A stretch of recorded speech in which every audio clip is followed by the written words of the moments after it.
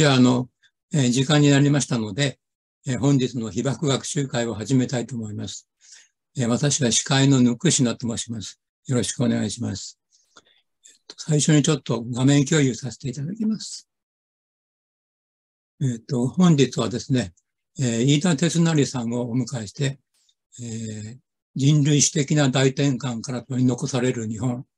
えー再生可能エネルギー大転換と、えーモビリティ大転換ということでお話しいただきます。で、まあ、現在、あの、岸田政権が、原発大転換を始めているわけですけれども、えっと、私たちからすると、えまずこれは311を無にするものではないかということで、まあ、非常に、え怒ってるわけですけれども、で、他方ですね、やっぱりこの、えー今、まあ、え化石燃料が値段が上がってるということで、えー政府の方は、まあ、原発を大転換ということになってるわけですけど、まあ、それがかなり、えー支持を集めてるということもあるので、そこら辺をちょっと考えてみたいと思います。で、えっ、と、まあ、ずっとですね、気候危機が叫ばれていたわけですけども、まあ、政府の方はその中で、化石燃料に依存し続けて、で、原発に執着して、えその結果、まあ、再エネ導入を渋るというふうなことになってきたと思います。だから、まあ、従来のエネルギー政策が、電気代値上げ騒動をもたらしたというふうにも言えると思うんですが、あよいしょ。あ、すいません。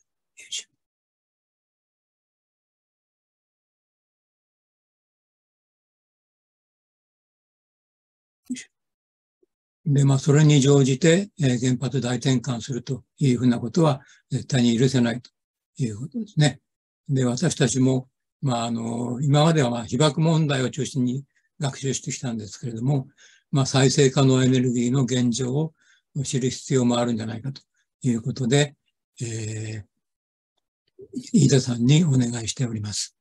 で、飯田さんはですね、まあ、現在、あの、NPO 法人、え環境エネルギー政策研究所、えー ICEP というんですかね、それの所長さんです。で、えーまあ、以前はですね、京都大学の原子核工学専攻を修了され、で、東大の先端科学技術センターで、えー博士課程を満期退学しておられます。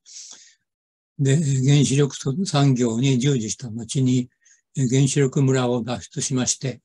えー北欧の再エネ政策を研究した後、えー現在の、えー環境エネルギー政策研究所の所長になっておられます。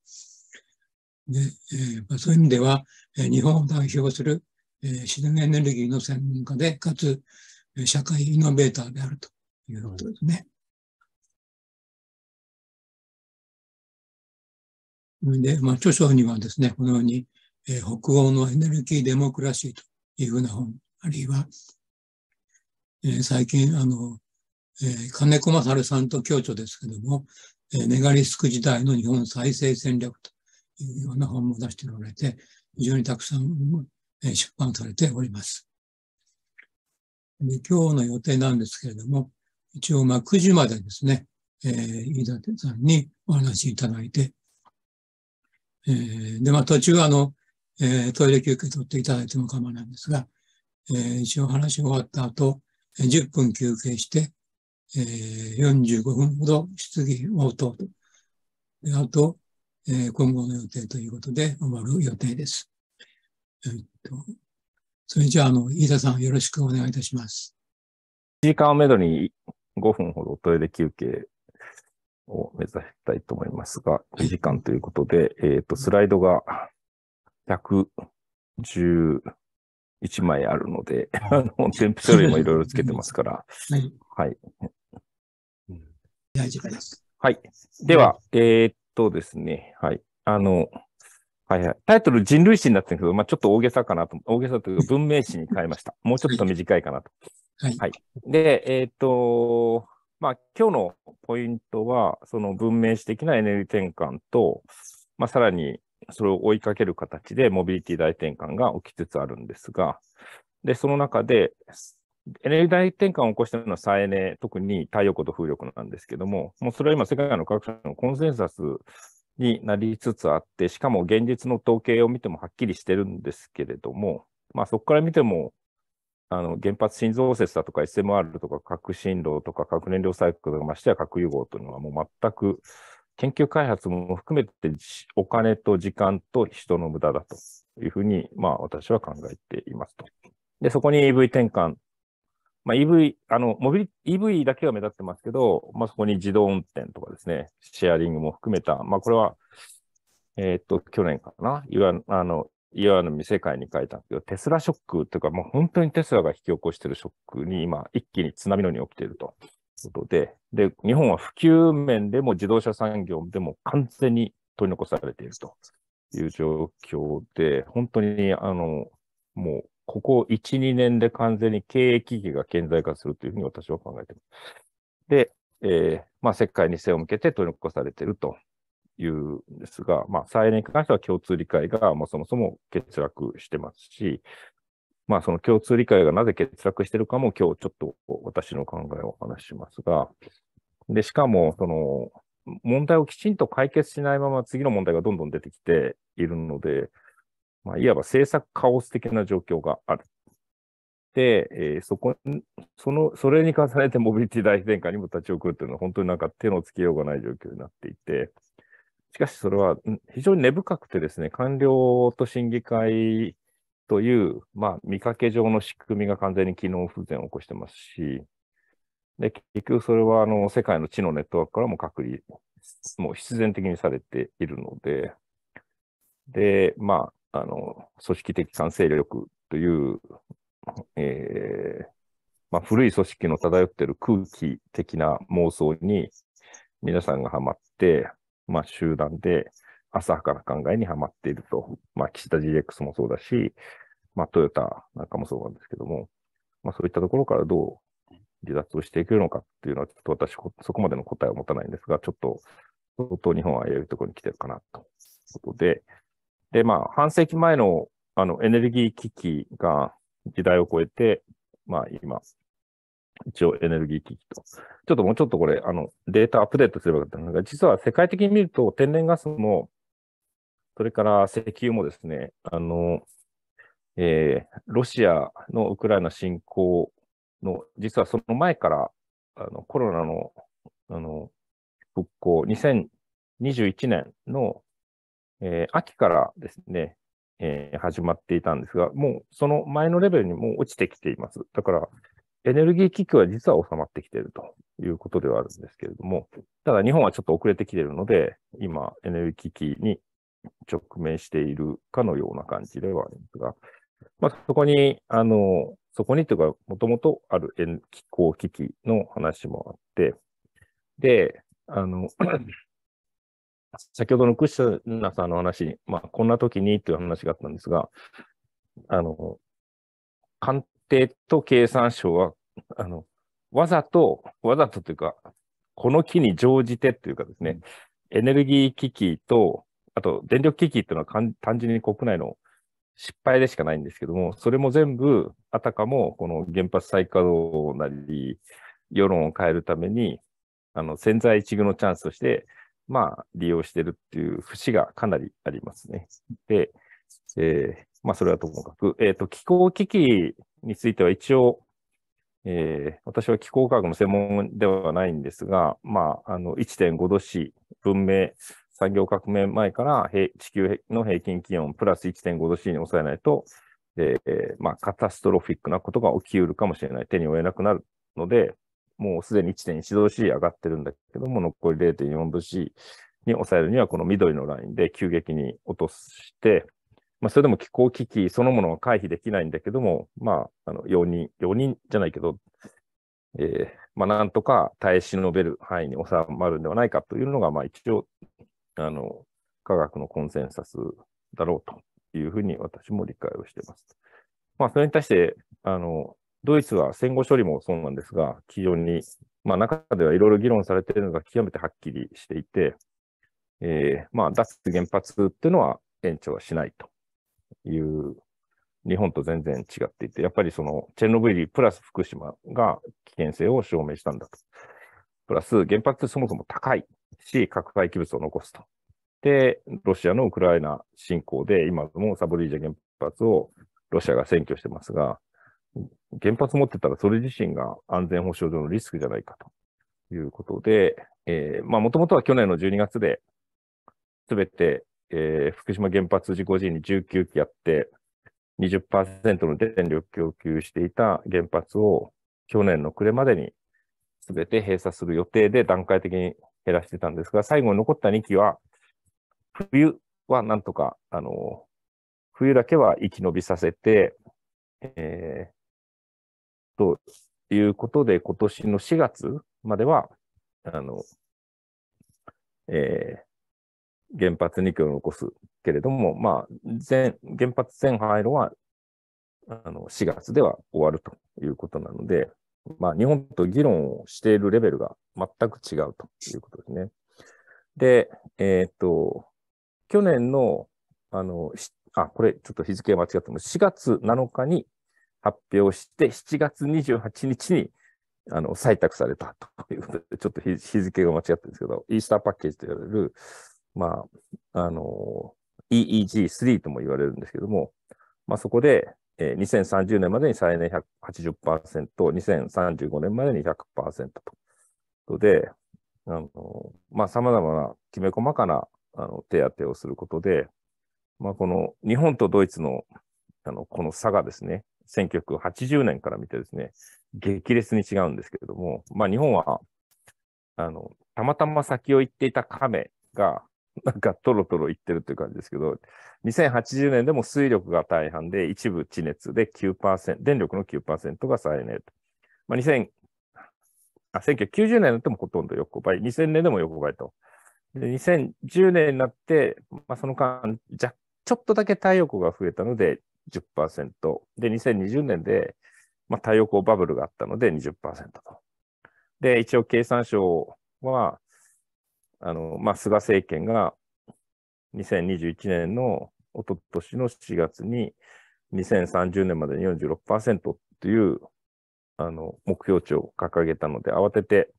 鉛筆を舐めて作った数字が再エネ電力36から38。で、2050年は50から60という、ただ、今の経産省と今の政治に任せたら多分この数字すらできない可能性がありますが、ただドイツはあの、2000、2000年に導入した EEG、いわゆる固定価格買取制度フィット。を導入したときはですね、再エネ電力わずか7%だったんですね。その時に2020年、20年後までに再エネ電力20%という当時緑の党が政権にいましたけれども、で、その時緑の党自身もですね、20%は無理かもしれないなと思っていたんですが、蓋を開けてみると44%まで来たと。まあ、それで自信を持って今回のイースターパッケージで2030年までに80%、2035年に100%ということで、その政策もそうなんですが、それを実現し得る力がですね、ちょっと日本とは桁違いに違うと。まあ、後で話しますが、もうもっと先行するのはデンマークなんですけども、ちょっと日本のレベルの低さがもう際立っているということですね。で、あの、昨年の7月にフィンランドの LT 大学がリードして世界の15の大学研究機関及び、えー、30名以上の研究者が始まって、あの、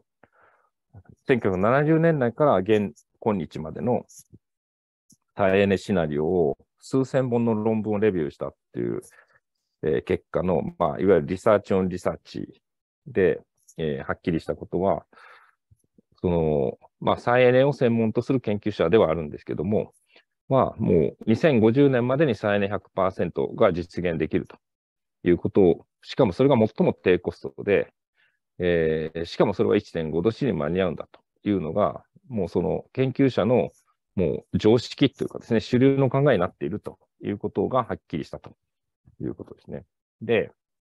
で中心は太陽光と風力、プラス蓄電池、プラスグリーン水素ということで、まあ、あの、いろんな研究、最近のテーマはこうですよと書いてあるんですが、この、えー、面白いのは、初期の、まあ、初期っていうか70年代はもちろんなんですが、こんな10年ぐらい前までは、そんなことできるわけがないっていう会議論に遭遇をしていたけれども、今はもうそんなことはないですよ、と。で、しかし、今なお IEA、国際エネルギー機関であるとか IPCC といった大きな古い既存の組織は、その組織の、えー、組織的完成力とインスティチューショナルイナーシャーと書いてあるので、えー、のために、いまだにそういった大きな組織は極めて、その会議的、まだ会議的だ、であり消極的だと。ことを言っているということですね。で、まあその実例としてですね、うんと、この石炭はですね、アメリカのエネルギー省 DOE の、まあ EIA ですね、エネルギー情報局の専門家というか、の予測と、実際のアメリカの石炭需要量のデータの比較ですが、あの、2008年、7年から8年にかけたリーマンショックまでは、あの、右肩上がりのカーブを予測していたと。で、リーマンショックでガクッと落ちたけれども、まあ、一時的なそれ落ち込みで、また元に戻って右肩上がり伸びると彼らは予測したんですが、確かに一瞬戻ったんだけども、まあ、ちょっと戻ってまた落ちたと。で、えー、しかし、DOE の EIA の専門家はですね、石炭が落ちても落ちても、まあ、最近若干右肩下がりになりつつありますが、しかし極めて楽観的な見通し、シナリオを出すんですが、現実はこのトレンドから見た明らかに崩壊しつつあると。石炭市場ですね。で、えー、その逆は、これはエネルギー、あ、国際エネルギー機関 IEA の太陽光というか、まあ、毎年出す WAO、えー、ワールドエナジー、あ、ウェオですね。ワールドエナジーアウトロックの毎年出す見通しにおける太陽光の予測です。で、えー、IEA の予測は極めて控えめですけども、現実はその、それをぶち破ってですね、はるかに、はい、速いスピードで普及しているという形で、まあ、これがそのインスティチューショナルイナーチャー、いわゆる組織的、もしくは制度的、制度じゃないですね。やっぱり組織的完成力のなせる技というかですね。えー、ということかと思います。で、まあ、ちなみに原発については、まあ、岸田 GX で、あの、いろいろ言ってますが、しかし、あるいはビル・ゲイツとかですね、まあ、原発大好きな、えー、エリート、まあ、親父たちがいっぱいいますけれども、まあ、あの、昨年の7月時点で動いている原発は世界で411機。で、もうすでに平均稼働年数31年に達していて、で、これまでに入るようになったのは204機で、その平均寿命は27年ということで、まあ今後、このまま推計をするとですね、その原発を気候変動やエネルギーの要にするどころか、原発は大量廃棄廃棄時代を迎えて一気に減っていくだろうという可能性があるということを、まあ、マイケル・シュナイダーたちは、まあ、あの、予測をしてますし、まあ、これが一番合理的というか現実的な将来見通しじゃないかということですね。で、えー、あと、ビル・ゲイツが大好きな SMR 小型革新炉ですけども、まあ、小型革新炉はそもそも、えー、高すぎて、遅すぎて、えー、危険すぎて役に立たないと いうのが、えーまあ、最近どっかそういうレポートも出てましたけども、まあ、彼らは結局太陽光と風力の真似をしたかったんですね。太陽光と風力みたいに大量生産すればどんどんどんどんコストが安くなるだろうと。で、えー、そういう世界を実現したかったんですけども、実際には、あの、今動いてる革新炉なんて、あの、ほんの数機でしかないですし、ほとんど概念設計の話で、しかもロケはバラバラなので、その、数メガから数十メガ、まあ、ニュースケールが50メガ、60メガでしたっけ？で、もしくはロールスロイスになったら500メガですから、ロケも規模もバラバラなので、その、とてもじゃないけど、大量生産ししてコストが安くなるってことは、まあ、ありえないということかと思います。で、で実際に太陽光風力は、まあ、昨年太陽光は268ギガ増えて、まあ、速報値ではありますけれども、累積で1210ギガワット。まあ、これは発電量ではなくて、あくまで設備容量なんですけれども、で、風力は去年98ギガワット速報値で増えて943ギガワットですが、原発は去年10ギガワット実際に減って、えー、378ギガワットということで、えーまあ、発電量で見ると太陽光プラス風力が原子力を去年は、あの、正味の発電量で逆転をした年ということで、で、実はこの、えー、急激な拡大ですね。この風力、そして太陽光。今、その後で今、洋上風力と。これが、あの、先ほどあった世界は太陽光と風力を中心にエネルギー大転換、特に2050年までに再エネ100%っていうのがもう実現しうるんだということの可能性というかですね、まあおそらくそうなるだろうという蓋然性ですが、それはまた後でお話をするとして、えー、で、その古い、古い組織というか、あの、えー、2009年に IRENA、国際再生可能エネルギー機関、まあ、その半世紀前に1957年に IAEA 国際原子力機関が発足したわけですが、 Atoms for Peace、アイゼンハワーの Atoms for Peace を受けてできたのが、1957年のあの IAEA ですね。で、そこから半世紀経って、ほぼ50年後、あ2009年に IRENA、国際再生可能エネルギー機関というのが発足をしたとということで、まあ、アイリーナは当然ながら太陽光と風力は今後の電力の中心となるということをシナリオを出してますし、えー、先ほどの、えー、組織的完成力にあのまみれている IEA 国際エネルギー機関も、さすがにネットゼロのシナリオの中では太陽と風力がかなり中心になるというふうに言っているということですね。ただ、やっぱこの2つは国際機関なので、アイリーナも含めて国際機関はやはりインスティチューショナルイナーさに追われるというふうに、あの、先ほどの LET 大学のブライクリスチャン・ブライヤーは、あの、この2つの組織も全然まだ消極的なんだと。まあ、2つは IA はもちろんですけど、と、あの、批判をしていましたが、だから現実にはこういったシナリオ、経済シナリオを超えて太陽と風力はもうさらに飛躍的に拡大しつつあるという状況で、で、あの、まあ私の頭の中にあるシェマというかですね、あの、図形的な展開っていうのは、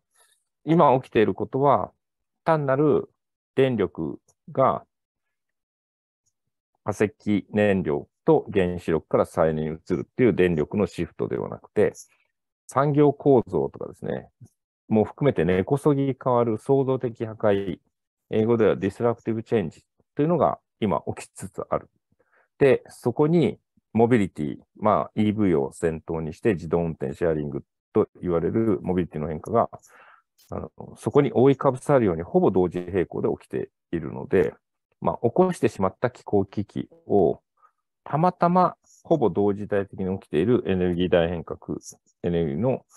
創造的破壊とモビリティの創造的破壊が、まあ、根こそぎひっくり返そうとしつつあるというのが、まあ、私の頭の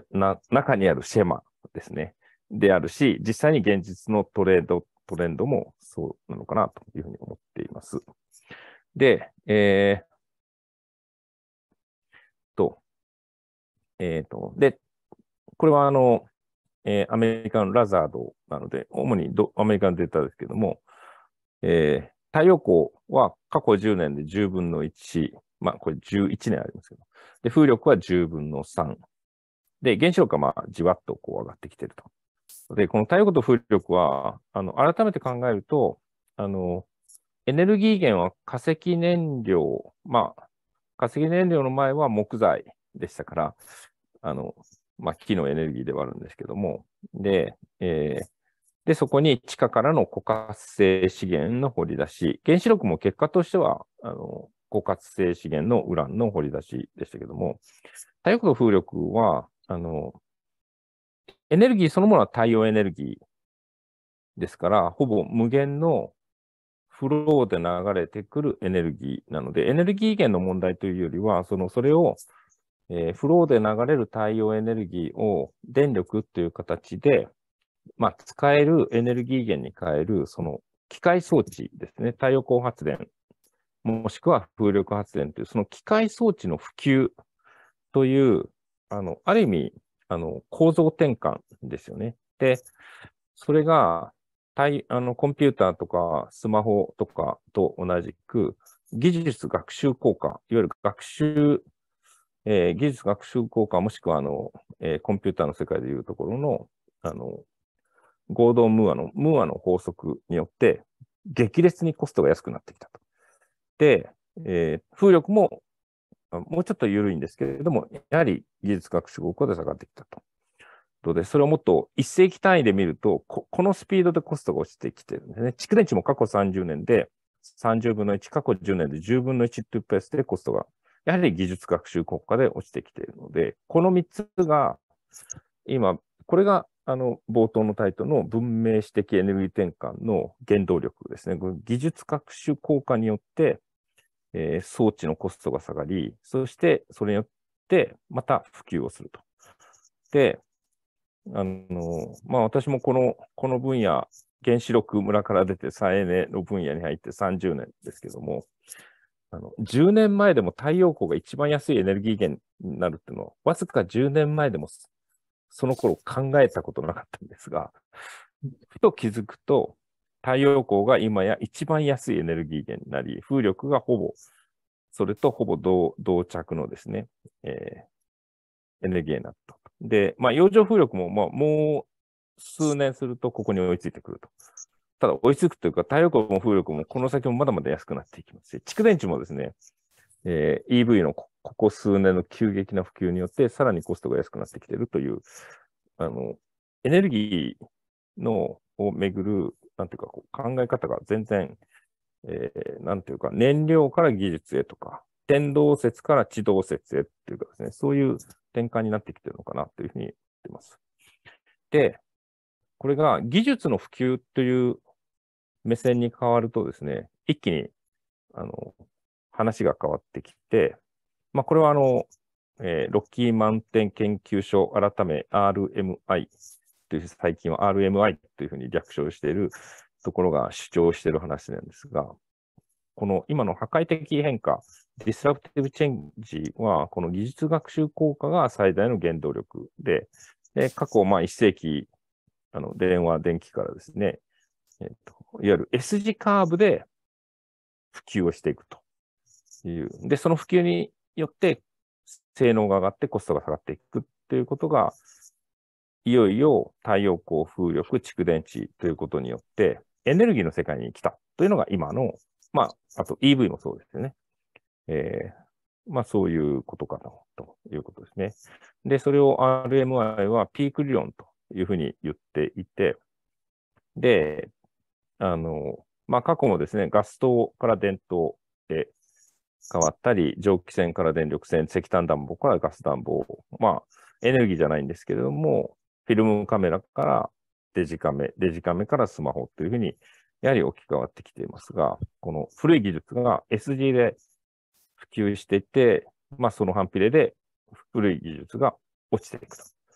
で、モビリティ、自動車、モビリティの話で言うと、ちょうどまあちょうどじゃないんですけど、ほぼ1世紀前に、馬車から T 型フォードがちょうど生み出された自動車に、一気に10年単位で置き換わったと。で、この写真は、ちょっと小さいくて見にくいんですが、あの、ニューヨークの5番街、1900年を映したニューヨークの5番街が、あの、ほぼすべて馬車で1台だけ自動車がありましたけども、13年後はほぼすべて自動車で1台だけ実はよく見ると馬車があるというぐらいにガラッと変わってきたと。で、この急激な変化に、特に今日本はですね、これはまあ、トヨタを中心とする、あの、えー、自動車産業と、まあ、経産省との、まあ、なんというか、あの、罪だと思いますけれども、えー、そこに日本が取り流されてるっていうことですね。で、あの、まあ、トヨタはハイブリッドの、まさに、あの、成功者のジレンマというか、イノベーションのジレンマというか、えー、トヨタがハイブリッドを生んだがゆえに、そこからの、で、あの、電動車っていうことは日本だけの、いわゆるまさにガラパゴス用語なんですけども、ハイブリッドを入れて電動車と日本の統計では言っていると。で、世界的にはハイブリッドはガソリン車で、プラグインハイブリッドと純粋バッテリーカー BEV、これを EV と言ってる。ただまあ、プラグインハイブリッド自体もですね、はっきり言って過渡的な車なので、まあ今、あの、エンジンは完全にバッテリー EV の方に一気に突っ走ってきているかなと。で、水素は完全にトヨタの妄想の世界なので、もう世界では消えつつあるというのが私の認識で、あ水素っていうのはさっきのグリーン水素は重要なんですけども、モビリティの世界の水素はもう何にも役にも立たないし、市場もないという感じですね。で、一昨年が、あの、一応、プラグインハイブリッドとバッテリーを合わせて、一昨年が前年比108%増で、えー、去年、2022年は57%増という形で、先ほどの S 字カーブでいうとこの指数関数的な成長でかなり目立つところに来たと。で、普及の中心はヨーロッパと中国だと。まあ、アメリカではカリフォルニアが特に伸びているということですね。で、あの、これがどのくらいのペースで置き換わっていくかと。で、ポイントは、あの、全自動車販売は、あの、あまり伸びてないということですね。だいたい7000万台と。で、7000万台のうち1050万台がすでに EV になったということは、あの、引き算すると6000万台がガソリン、ディーゼル車が落ち込んでいるということですね。で、中国は去年まだ約10%、9.5%伸びてるんですけれども、まあ、そのうち EV は90、ほぼ倍増の93%増ですが、逆にガソリン車はその分だけ落ちていて、で、えー、まあト、ップのフォルクスワーゲンは、まあ、かろうじて5.8%伸びて、2位のトヨタも10%伸ばしてるんですが、3位に BYD、もう化石車を全部やめた BYD が2.5倍、145%増えて3位に躍り出たということで、多分今年1年終わると、BYD がトップに躍り出て、トヨタとあのフォークスワーゲンはマイナスに転じるんじゃないかと思います。で、ホンダは10%減、日産は17%減で、えー、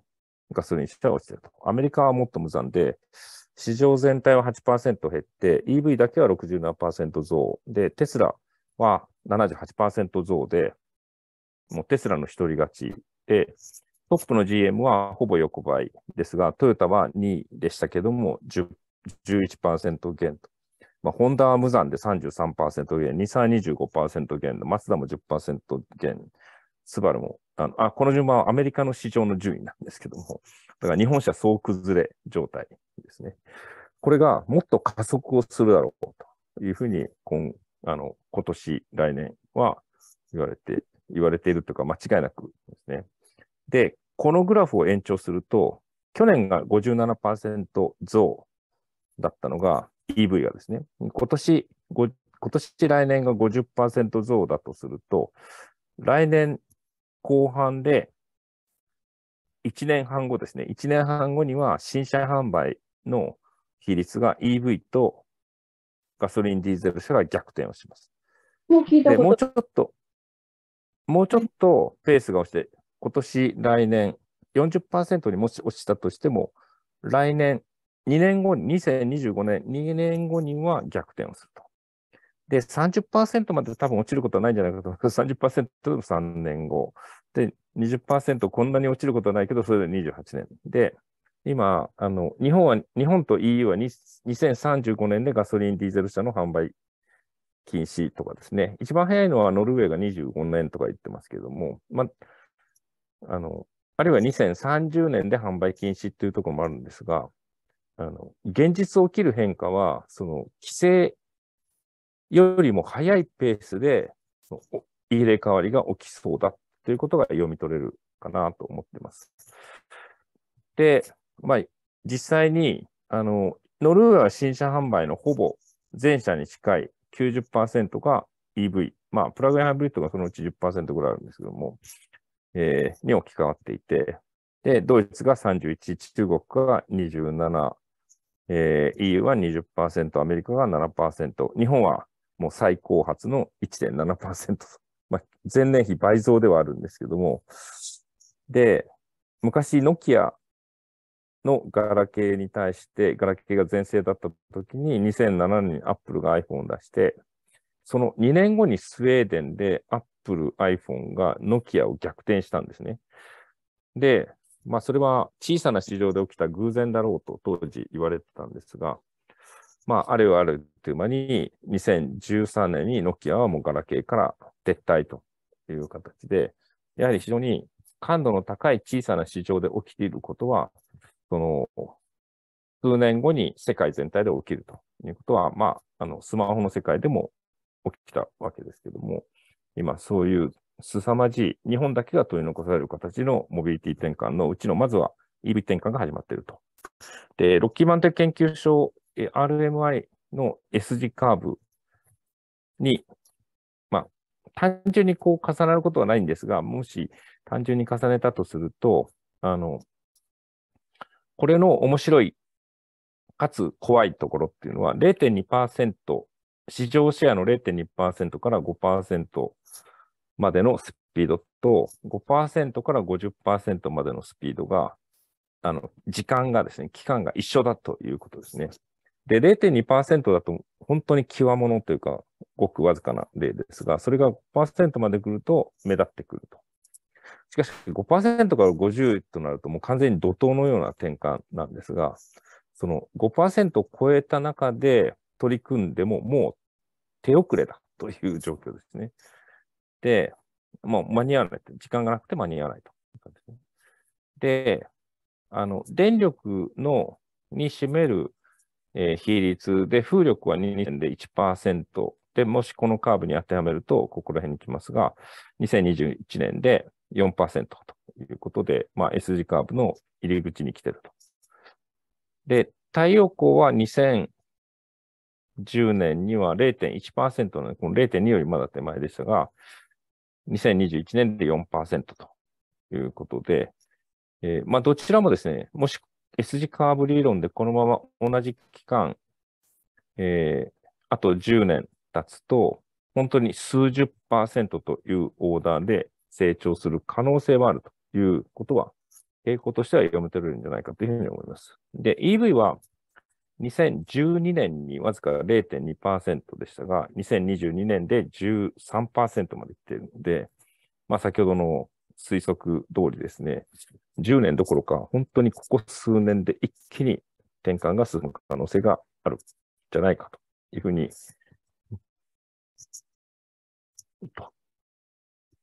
おっと、すいません。よいしょ。よいしょ。すいません。私の Mac の Siri がかいきなり動き出したので。はい。えっ、ー、と、すると、あの、自動運転が今、急速に動いてきていて、まあ、自動運転みたいな夢みたいな話と言われていますが、まあ、かなりリアリティを持ってきていると。まあ、いろんなところで、あの、まあ、世界各地で実験してますが、まあ、今日はあまりちょっと詳細触れませんが、もう圧倒的に進んでるのはテスラですね。で、多分もう、あとは規制との対応次第ですが、もう時間の問題です。これが実現をすると、自動 EV プラス自動運転プラスシェアリングというのが実現をすると、もう誰も車を買わないという、まあ年間7000万台、8000万台車をワンタイムで売るというビジネスモデルそのものが崩壊をして、えー、いって、まあ、まさにガラケーからスマホに変わって GAFA が登場したかのようなことが今度、より大きなスケールでモビリティの世界で起きるということが、まあ、あの、もうかなり予見される未来としてありそうだということで、で、えー、この、えー、まあ、電気自動車プラス移動運転プラスライドシェア、まあ、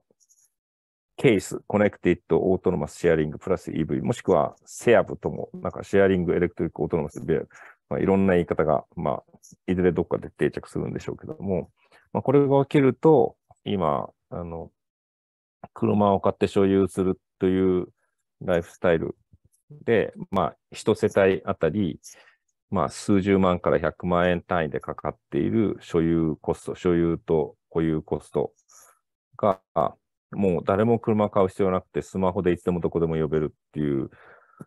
ソーシャルモデルに変わると、あの、コストが少なくとも10分の1ぐらいに下がるというふうに言われているので、先ほど馬から、馬車から T 型フォードに変わったと同じような転換が、まあ、それが実現すると同時に、この急激な変化が起きる可能性があって、まあ、そうすると、あの、今、えー、世界20億台ともあいるという車も稼働率が上がるので、5%の稼働率が50%上がるということは逆にストックレベルで10分の1に下がりますし、そもそも、えー、EV に変わっていくと石油市場の動力部門あ、自動車部門の石油市場はもうそもそもいらなくなるということで、まあ、こういう急激な変化が、まあ、10年程度のタイムスコープで起きるんじゃないかという可能性はあり得るというふうに思います。で、えー、まあ、再エネ電力の話に戻ると、えー、この再エネ電力、今や一番安くなった太陽光と風力で、電力を100%再エネに変えることはもちろんのこと、エネルギーのすべてを再エネ電力を中心に他の分野に波及して変えていくというのをセクターカップリングというふうに言います。で、セクターは分野、エネルギーを使う分野で、カップリングはつなぐと。何でつなぐかというと、再エネ電力、特に太陽光と風力の電力でつないでということで、セクターカップリングという考え方に今変わってきているとね。で、まあ、EV、電気自動車は一番わかりやすい話で、電力をどんどん再エネ化しつつ、その輸送動力が再エネ電力に変われば、あの、それは直ちに化石燃料を使わなくて済むと。で、これは後でデンマークの例で見ていきますが、再エネ電力を一旦グリーン水素に変えて、で、二酸化炭素とグリーン水素で天然ガスに変わる CO2 ニュートラル、もしくは CO2 フリーのメタン、いわゆるガスに変えていくということも可能ですし、えー、再エネ電力を温熱、これはまあ日本の例では、屋根に太陽光を乗っけておいて、エコキュートでお湯を作って、それで暖房と給湯を賄えば、灯油とかガスを使った暖房とかですね、えー、もいらなくなるという、えー、温熱分野の再エネ電力の転換もありますし、えー、電動トラクターはもうすでにどんどん実用化しつつあると同時に、えー、グリーン水素とを介したグリーンアンモニアを作ったり、まあ、そこから肥料を作っていくとかですね、再エネ電力の農業分野の転向、展開とか、あるいはその再エネ電力からグリーン水素を使って、えーえー、いわゆる石炭から作る鉄ではなくて、えー、水素、グリーン水素直接還元製鉄という形で鉄を作っていくということを、とかですね、そういう形で産業分も、いわゆる一次エネルギーの分野も再エネ電力変えていくという考え方が今、あの、新しい考え方というかですね、えー、言われているということですね。で、まあ、これはデンマークのレポートですけども、まず電力の分野を再エネが第一のチャレンジということで、まあ、最初の50、まあ、デンマークはすでに68%ぐらいまで再エネ電力、というか、あの、バイオマスで入れると80%を超えてるんですけども、いわゆる、あ、VRE っていうのは、風力と太陽光のことです。あの、自然変動電源、英語では、 variable renewable electricity ということで、もうすでに一番安くなった太陽光と風力だけれども、まあ課題は自然変動。まあ日本語で言うと、お天道任せ、風任せだ。そのお天道任せ、風任せ、自然変動電源 VRE の太陽光と風力を、いかに電力、再エネ電力の中で、あ、再エネ、電力供給の中でシェアを上げ、ゆく、ゆくゆくは100%、実は100%超えてどこまで持っていけるかというチャレンジで、デンマークは今ここまで来ましたっていう話ですね。で、その時に鍵になるのが柔軟性という考え方で、で、これはまあ電力のワールドですね。一般とはちょっと違うんですが、電力ワールドの中におけるパラダイム転換で、まあ、この20年間で、この再エネ比率が高くなった国々では、ベースロードっていう考え方そのものが打ち捨てられて、えー、柔軟性というパラダイムになりましたと。それはどういうことかというと、自然変動型の太陽光と風力を中心にして、で、まあ、需要も変動しますし、電力の輸出入、あるいは輸出入とかですね、需要を増やしたり減らしたり、もしくは、まあ、様々な措置を講じて、この自然変動電源のシェアを限りなく高く、できれば100%に持っていくというためには、この系統の柔軟性が大事ですね、ということで、ベースロードから柔軟性という考え方に変わりました。で、えー、でそれを国ごとに並べ直すと、まあ、自動車教習所の第1、第2、第3、第4段階と同じようになっていて、第1段階はまだ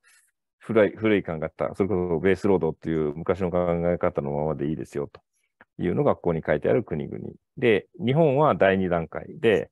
えー、若干その系統の需給カーブの中に太陽光や風力が見えてくるのが第2段階。で、えー、第3段階はヨーロッパのほとんどの国々で、再エネ、VRE の比率が20%か30%。で、実は日本でも唯一九州電力だけは第3段階に入っていると。で、九州電力の再エネ比率ってまだ十数パーセントなんですが、原発が全電力供給の50%ぐらいあって、それがどっかとですね、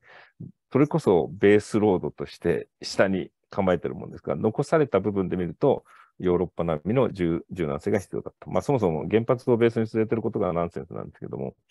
で、で、世界のトップレベルはデンマークと南オーストラリアで、まあ、それぞれ、まあ、このグラフではまだ50%台なんですが、もう昨年ではどちらも60数パーセントまでもう来ているということですね。これが第4段階と。で、で、デンマークの例を見ていくと、デンマークは国全体で再エネ100%ということを、えっ、ー、と、今は、今はリベラル政権かな。で、保守政権になろうとリベラル政権になると、これは変わらないですね。で、ベースは風力発電、もうすでに60%を超えた風力発電と、まあ、もう一つ、日本ではピンとこない地域熱供給、デンマーク全土の住宅建物の70%が地域熱供給でカバーされています。コペンハーゲンとかオーフスとか、東海はほぼ100%カバーされてえー、要はタップをひねるとですね、あの、水と同時にお湯が出てくるタップもあるし、地域熱供給が暖房の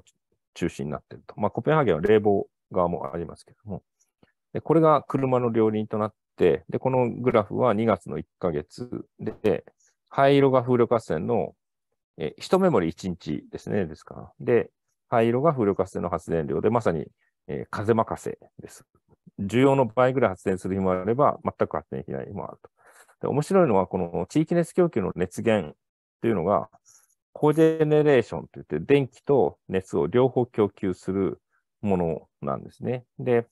デンマークは1979年、も半世紀前に、えー、発電をする場合は必ずコージェネで、その出てくる排熱を日本みたいにオン排出で捨てるんじゃなくて、地域熱供給で使うということを義務付ける法律をすでに1979年に導入しています。で、そのコージェネレーション、本来熱源ですから、お湯が、あお湯が必要な時に発あの動かし、お湯がいらない時は止めるっていうのが、まあ、これだけで考えるとそうなんですが、実はこれを見ると面白いのは、風力発電が多い時にはコージェネが止まって、風力発電が少ない時はコージェネがカバーするということで、この地域の供給のコーディネート、風力発電、お互いが補完し合う形で動いているということです。これはあの電力市場のメッセージを介して、こういう形になってるんですけども、というのは、風力発電が多いとですね、電力市場がゼロ、もしくはマイナスになるので、コージェネ動かすと損になると。で、風力発電が少ないときはですね、電力市場価格が上がるので、コージェネ動かして稼げるという、まあそういう相関関係にあります。で、そうすると、あの、お湯が作られすぎたり、お湯が足りないときに、あの、作られないっていうミスマッチが起きるんですけど、それはデンマーク全土に5000個足割る、いわゆる貯凍層がこのバッファーをカバーして、まあ、デンマーク政府は、そのリチウムイオン電池よりもまだ100分の1で風車の電気を蓄電できる安い蓄電池だというふうに、まあ、半分ジョークを込めて、えー、プロモーションしていると。で、さらにですね、この、それでもコージェネが止まっても風車の電気が溢れているという時には、この緑ですね。この電気を使って電気ヒーターでお湯を作ると。地域熱供給用のですね。で、えー、そうすることによって需要を作ることで風車は止め、九州電力が止めてるみたいに止めずに継続的に動かすことができると。で、えー、で、この地域熱供給としてもですね、もうほぼ0円、場合によってはマイナスの価格の電力市場の時にお湯を作ると、あの、自前で工程で動かすより安いので、安くて間接的な風力発電のクリーンなお湯を作れると。で、風力発電も止めずに動かすことができれば、クレジットを稼ぐことができるので、それで収益はできると。で、電力市場全体としてもですね、あの、需要が増えるので、えー、需給調整的にもですね、マッチングできるということですね。で、さらに、えー、デンマークは今、風力が60数パーセント、バイマスが20で、80数パーセントまで来てるんですが、その100%に向けて、さらに風力を今増やそうとしてますが、そうすると、ますますこの、この需給ギャップができていくんですが、それで、その余剰風力で水素を作って、その水素、グリーン水素からあのメタンを作ると。二酸化炭素とグリーン水素でメタンを作って、で、それで作るのを風力ガスというふうに言います。で、いわゆるあの北海、まあ、デンマーク全土には天然ガスネットワークがあの70年代に北海で見つかった天然ガス油田で広がってるんですが、えー、その天然ガスを止めてですね、えー、もう30年代かな ?30 年になるまでに止めるって言ってましたけども、止めて、えっ、ー、と、域内で作るバイオガスバイオガスのメタンと、バイオガスには CO2 が不純物で半分ぐらい含まれているので、そのバイオガスに含まれる二酸化炭素と風力から作ったグリーン水素で、まあ、そこで風力ガスを作り、バイオメタンと風力メタンで天然ガスネットワークを置き換えようという面白いことをやろうとしていると。で、で、デンマークは、あの、えっ、ー、と、去年の5月に、このデンマーク北部の場所に集まってですね、デンマークの首相から、えー、EU コミッショナーからこの沿岸の各国の首相がみんな集まって、このほとんど空想のようなプロジェクトですが、3つの人口と北海に作って、そこから水素と電気を沿岸諸国に送るというプロジェクトを、まずはデンマークから着工するということで、えー、皆さん集まったと。で、300ギガですね。今の世界の原発設備容量と同じようなものをこれからこの国会に作っていくんだというような空想のようなプロジェクトが始まるということです。それから、あの、南オーストラリアですね、アデレードを州とする南オーストラリアは、あの、今につながる、えー、ビッグバッテリーというかですね、巨大蓄電池、今まではまあ、ジョーク、ジョークというかコ、ストが高すぎて合わないだろうと言われてた巨大蓄電池を実用化した、まあ、先行例としてですね。で、2016年の9月に、まあ、その2年後に北海道で起きたと同じような全道ブラックアウトが、あ全州ブラックアウトが起きて、まあ、それの停電対策として、まあ、これもテスラなんですけど、テスラの、えー、巨大蓄電池100メガワット、125メガワットの蓄電池を半年間で、イーロン・マスクが半年で作らなければ、ただでお金は要求しないとか言って、2017年、えー、12月にこれが完成をして、でそれに75億円かかったんですが、年間30億円の節約効果があったということで、投資回収2年2.5年ということで、これはいけるということで、えー、2020年に1.5倍、150メガワットの200メガワットアワーという巨大にして、えー、来たということで、まあ、この間にですね、5回以上ですね、あわや停電というような、非常に大規模な、その蓄電池、あ、蓄電池して、周波数の大きな変動が来たんですが、この蓄電池がすべてカバーをして停電回避にも役立ったということで、まあ、普段は周波数調整で、この稼いでるんですけども、年間30億円とですね。で、まあ、それから始まって、まあ、リチウムイオン電池がコストが下がったのもも圧倒的に蓄電池じゃないや、EV のおかげなんですけども、えー、もうこのアメリカ、ヨーロッパ、オーストラリアとかで、この巨大、まあ、巨大だけじゃなくて、小型の、あの分散型の、えー、VPP に使う蓄電池も今急激に増えてますけれども、今、えー、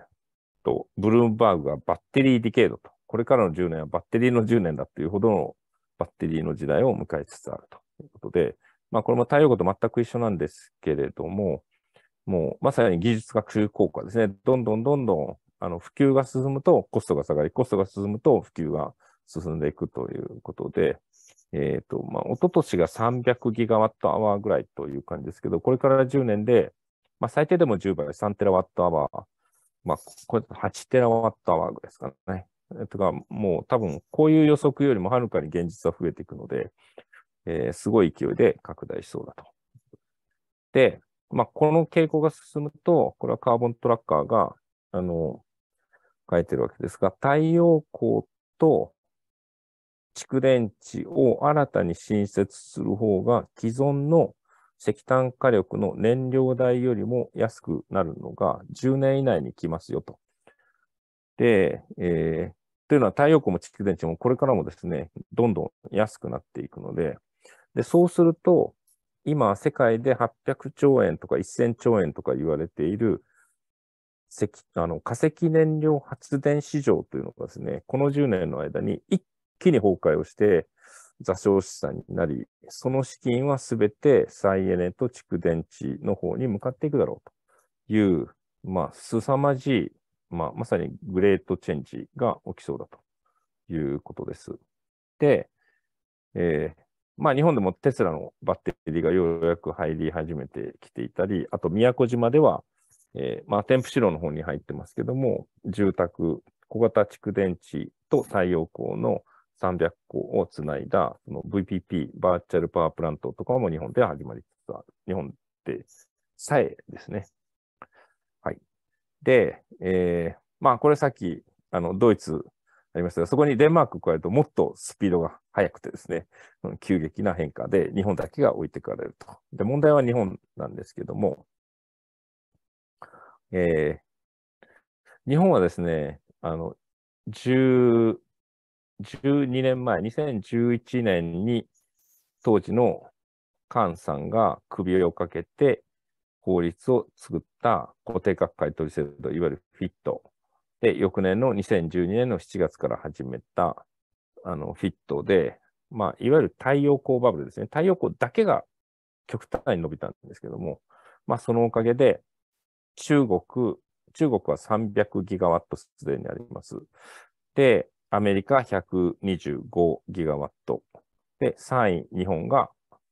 70ギガワットで、日本は世界3位。累積ですけどね。で、えー、今そこにインドとドイツが、まあ、迫ってきているという感じです。で、まあ、後から、経産省はこの累積の、今この瞬間の累積だけをもって日本はよくやってきたんだと。あの、役人というのは自分たちがやってきたことを褒めるデータを恣意的に出しつつですね、あとはできないための理由だけを恣意的に出すという、本当にあのどうしようもない連中ですけども、あの、で、問題はこれからなんですね。さ先ほどのその再エネ100%に向かっては、あの、これまではまだ離陸というかスタート段階で、これからどう増やすかが課題で、もうこれ、いい加減増えてる中国は2030年という、わずかこの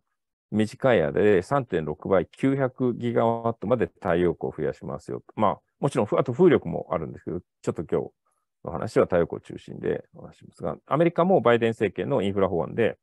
2030年まで5.5ギガワットに、あ5.5倍にしますと、550ギガワットにしますと、まあ、あの、アメリカも再エネ電力100%を2035年かなまでにすると言ってるので、で、えー、ドイツは先ほどあった2030年までに80、2035年までに100%で、ドイツもこれから4倍にします。日本は、あの、せいぜい1.5倍でですね、あの、スタートダッシュして、そこでもうサボり始めた、あの、出来の悪い陸上選手みたいな感じで、本当に困った感じです。で、えー、で、風力はもう歴史的に完全に出遅れていて、まあ、ようやく今、洋上風力ということで、経産省は鼻息やらく、えー、それから旧一般電気事業者ですね、東電を筆頭に各電力会社とか視聴者とかが、まあ、洋上風力には乗り出しているけども、えー、まあ、それはそれでいいことなんですが、もう風力全体で見ると、日本は本当にもう世界のもう完全にラストランナーになってしまっているということですね。で、問題はな、なぜ日本はこんなに立ち遅れているのかというのは、この理念とか思想レベルの話と政策具体的なレベルと、まあ、より根深い政治文化社会土壌みたいな話という構造なのかなというふうに思います。で、理念、理想としては共通理解がそもそもない。えー、し、目標値、だから目標値も低いし、原則、うん再エネ、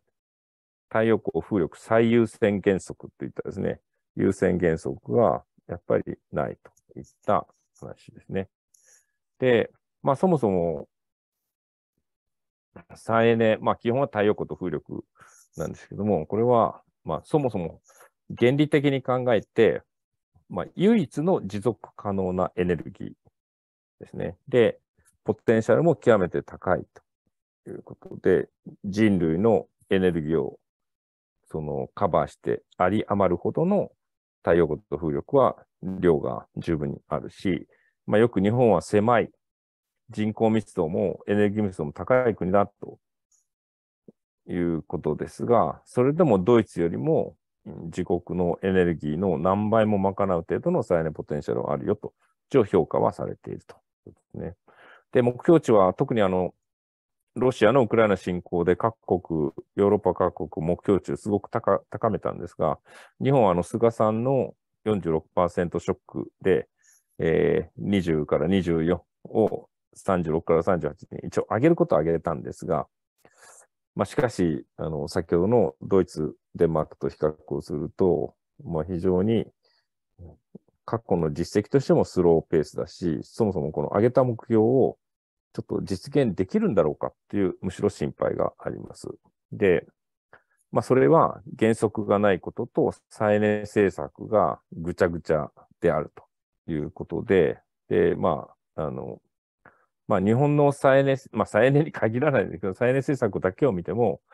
あの、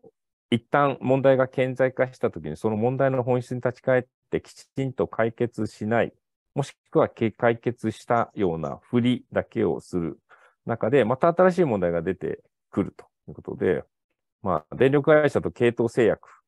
はもうこれ最初からの問題ですが、それがやっぱりまたね、本質的に解決されてないですし、まあ、政策はもうカオスとしか言いようがないほど、もうどんどん、えー、デタラメな政策が出てきますし、それから縦割りと政策の統合が見られないし、で、太陽光バブルの結果として社会的合意が失われてしまったと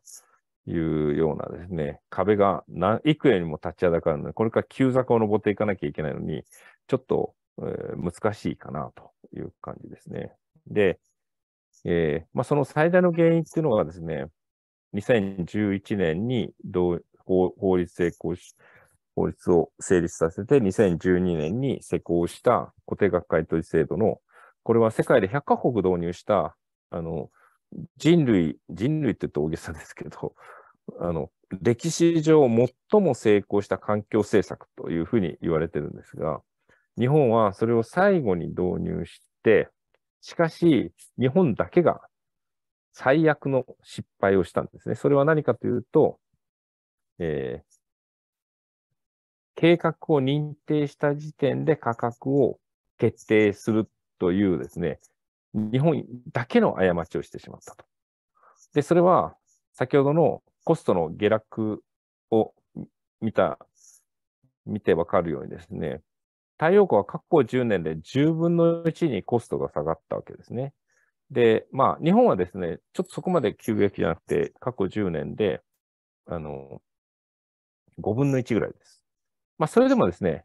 あの、待てば待つほどコストが下がるわけです。で、そうすると何が起きるかっていうと、2012年に認定を与えられた、まあ当時40円プラス消費税でしたけれども、えー、それで、例えば3年待てば、待てばっていうか、あの、ほっとくと時間経過しちゃうんですけども、あの、まあ、あえ、わざと待ったところもあるし、待たざるを得なかったところもある、あるとは思いますが、あの、そうすると、いざ作ろうとしたときには、当初計画したよりずいぶん安くできちゃうんですね。で、そうすると、何が起きるかっていうと、あぶく銭が出てくるんですね。で、かつ、これは、あの、儲かる。実は太陽光ビジネスっていうのは空き家が出ないあの、マンション経営、あの、ん？賃貸マンション経営でですね、あの、不動産屋がいち早く目をつけて、日本中の地上げ屋さんとか、えー、かつてのリゾート法とかゴルフ場開発ラッシュで宙に浮いていた土地が一気に太陽光なだれ込んできたんですね。で、まあ、それで地上げラッシュも起きましたよと。で、そこであぶく銭ができたもので、あの、まあ、一つはそのこれ、儲かるっていうことで、系統連携への、いわゆる電力会社の申請が殺到したという。で、その結果として電力がもうちょっとこれ系統つなぐの困ると。で、今の系統問題につながることになっちゃったと。それから、まあ、本来であれば、もうちょっと安くできたのを最初に高い値段で固定しちゃったもんだから、余分な国民負担ができちゃったと。あの、最初の、えー、12年、13年、14年、いわゆる40円、36円、32円の認定価格のものが、いまだにですね、5割超えてるんですね、国民負担の。でもこれ本当に、例えばできた時点の価格で値切れば、多分これの半分かもっと少ないかの可能性ありますね。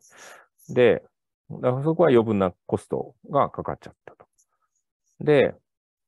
で、しかしこれは儲かるということで太陽光バブルになって、で、結果として余り金がでできるので、こんな山の中に太陽光を作っても、その、えー、山一つぶっ壊してもいいぐらいの土木費も出ちゃうんですね。だから、あの、まあ、いわゆるメガソーラーっていうのも、なんていうか、日本では完全にネガティブワードになっていて、で、地域からも、場合によっては自然保護団体からも、場合によってはじゃないですよね。結構なところで自然保護団体もこう反対をするから、あの、まあ、完全に太陽光は、その、経産省の中でも太陽光、特にフィット、固定価格回答制度、フィットはもう、なんていうか、鼻つまみ物っていうかですね、えー、禁句になっていて、で、じゃあ社会全体としてもですね、あの、えー、この問題でもう完全にネガティブワードになっちゃってると。で、その実実態として太陽光の新しい新規認定が急激に下がっていってるということですね。で、で経産省はもう最初の失敗に慌てて、次から次にですね、もう、まあ、なぜ政策カオスが生じたかっていうと、後出しじゃんけんで猫の目のようにコロから変えて、複雑化する状況で次々になんか新しいルールをどんどんどんどん網をかぶせていったので、まあ、あの、個別には説明しませんが、次から次にこんなものをどんどんどんどん導入してきて、で、固定価回答してたのも、これも詳細説明しますが、一目で見て、これ今どうなってるのっていうことで、太陽光だけ取ってもこんなに混乱していてですね。でも、あの、そこに、あと、フィット、あ、フィットして、入札をまず導入したんですね。で、で入札の後、えー、50キロワット以下の、いわゆる低圧と言われる部分、これはノラソーラーというふうに経産省の中では悪口言ってるんですが、こちらも問題視されて、それに対して30%自家消費が必要だっていう、えー、名前だけ地域活用電源って美しい名前をつけるんですが、実際には30%自家消費という、まあ、鉛玉をくっつけたことによってですね、えー、何が起きたかっていうと、えー、あ、その前にですね、経産省の審議会の資料で、彼らも日本、日本は今世界で、えー、第3位です。という、こう、都合のいいだけを、データだけを、まあ、つまみ食いしてですね、で、しかし問題は先ほどみたいにどれだけ増やすかがポイントなんで、こんな都合がいいデータ言ってもしょうがないというのと、それから、あの日本が、これも経産省の新会の資料ですけども、もう敵地がもうすでにこんだけ普及して敵地が少なくて、そのために認定容量が少なくなっているんだというふうに彼らは言うわけですけども、その敵地が少ないから減らしたんじゃないのに、えー、ちゃんとそういうことをリサーチせずに勝手に決めつけてですね、えー、根拠もなく敵地の減少というふうに伸びていて、実は彼ら自身が自分であの、太陽光の市場を殺してるわけですが、で、しかもここで平地面積あったりの太陽光は日本こんだけ増えているので、もう太陽光増える余地ないということを暗に言ってるわけです。まあ、これが本当になんかあの、えー、2年でコロコロ変わる計算、まあ、経産省だけじゃないんですけども、えー、まあ、しかし環境省はいい仕事をしていてですね、あの、日本でちゃんとやれば、その、住宅、建築物とか、あと荒廃農地とかですね、えー、使えば、日本の総発電電力量の、まあ、何倍かをカバーできますよっていうポテンシャルとかをきちんと出しているので、平地が少ないからじゃなくて、ちゃんと、あの、やるための努力をしてないからだということですね。で、あの、実際に、出来上がった量ではなくて、認定ですね。つまり、これ作っていいですよという認定した量が減ってるってことが極めて深刻で、で、あの、大きな分類としては50キロワット以下を低圧と言います。で、50キロワット以下っていうのは電力会社の、その、連携契約は比較的緩いというかルーズなんですね。で、次は高圧。これが2000キロワット、2メガワットか51キロワットから1999キロワットまでを高圧と言います。で、これは、あの、審査するのも3ヶ月ぐらいかかりますし、えー、電力会社がいろいろその負担金が大きい、なの、送電線回収しないと繋がらないので、こんだけ払ってくださいとかですね。えー、若干ハードルが高くなります。でもまあ、規模の経済で、えー、そこそこできると。で、2メガワット、2000キロワット超えの特別高圧といって、これはあの、主任技術者が必要で、これをやるために人を一人雇わなきゃいけないんですね。それが年間1000万ぐらいかかるので、特別コアスとなるとまた一段とハードルが高いということ。で、先ほど経産省も自ら出しているこの新規の認定が急速に下がってですね、まあこれはあの、いわばあの商売でいうと仕込みですね。ここで仕込んだものが早ければ翌年、もしくは時間がかかるものは10年ぐらいかかって作られるんですけど、要は仕込みが減っていくとですね、アウトプットがもち間違いなく減るので、ここまで減ると、まあ、先行き、たまたま昨年は4ギガワットぐらい作られてるんですが、でももう仕込みが0.8レベルまで落ちてきてるので、この先、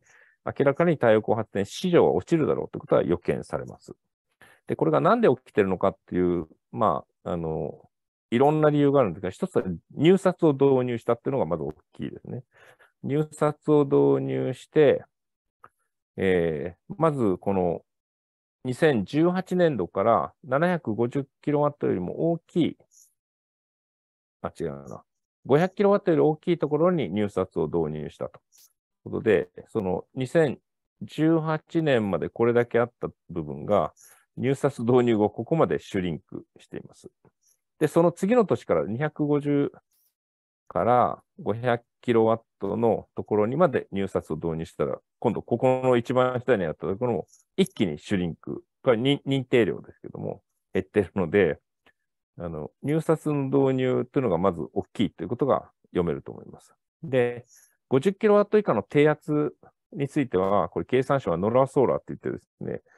敵視して、これを潰そうと意図的にしたんですね。で、で、先ほどの30%の自家消費というのを義務付けた結果、もうほぼ壊滅的に市場が消えていってるという形で、あの、敵地が少ないんじゃなくて、明らかに政策の失敗だっていうのははっきりわかるんですけども、まあ、経産省はあんな形で、あの、自己正当化、もうろくに研究もせず、ちゃんとやらずに自己正当化をするというのが、まあ、悪い癖というかですね。はい。えー、っと、あもう1時間10分なので、ここでちょっと一回トイレ休憩しますかね。はい。えー、っと、今何時だ ?8 時15分なので、8時20分から再開しましょうか。はい、ありがとうございます。はい。このペースでやってると全然、と、若干ペースが遅いので、あのちょっとペース上げていきます。はい、えー、っと、ちょっとここら辺は一個一個説明すると本当に深いディープな問題なんですが、まあ一つはあの、やっぱ電力会社の送電線系統利用の問題というのが、えっ、と、当初から指摘をされていたんですが、まあ、本質的には、すみません、画面表示が、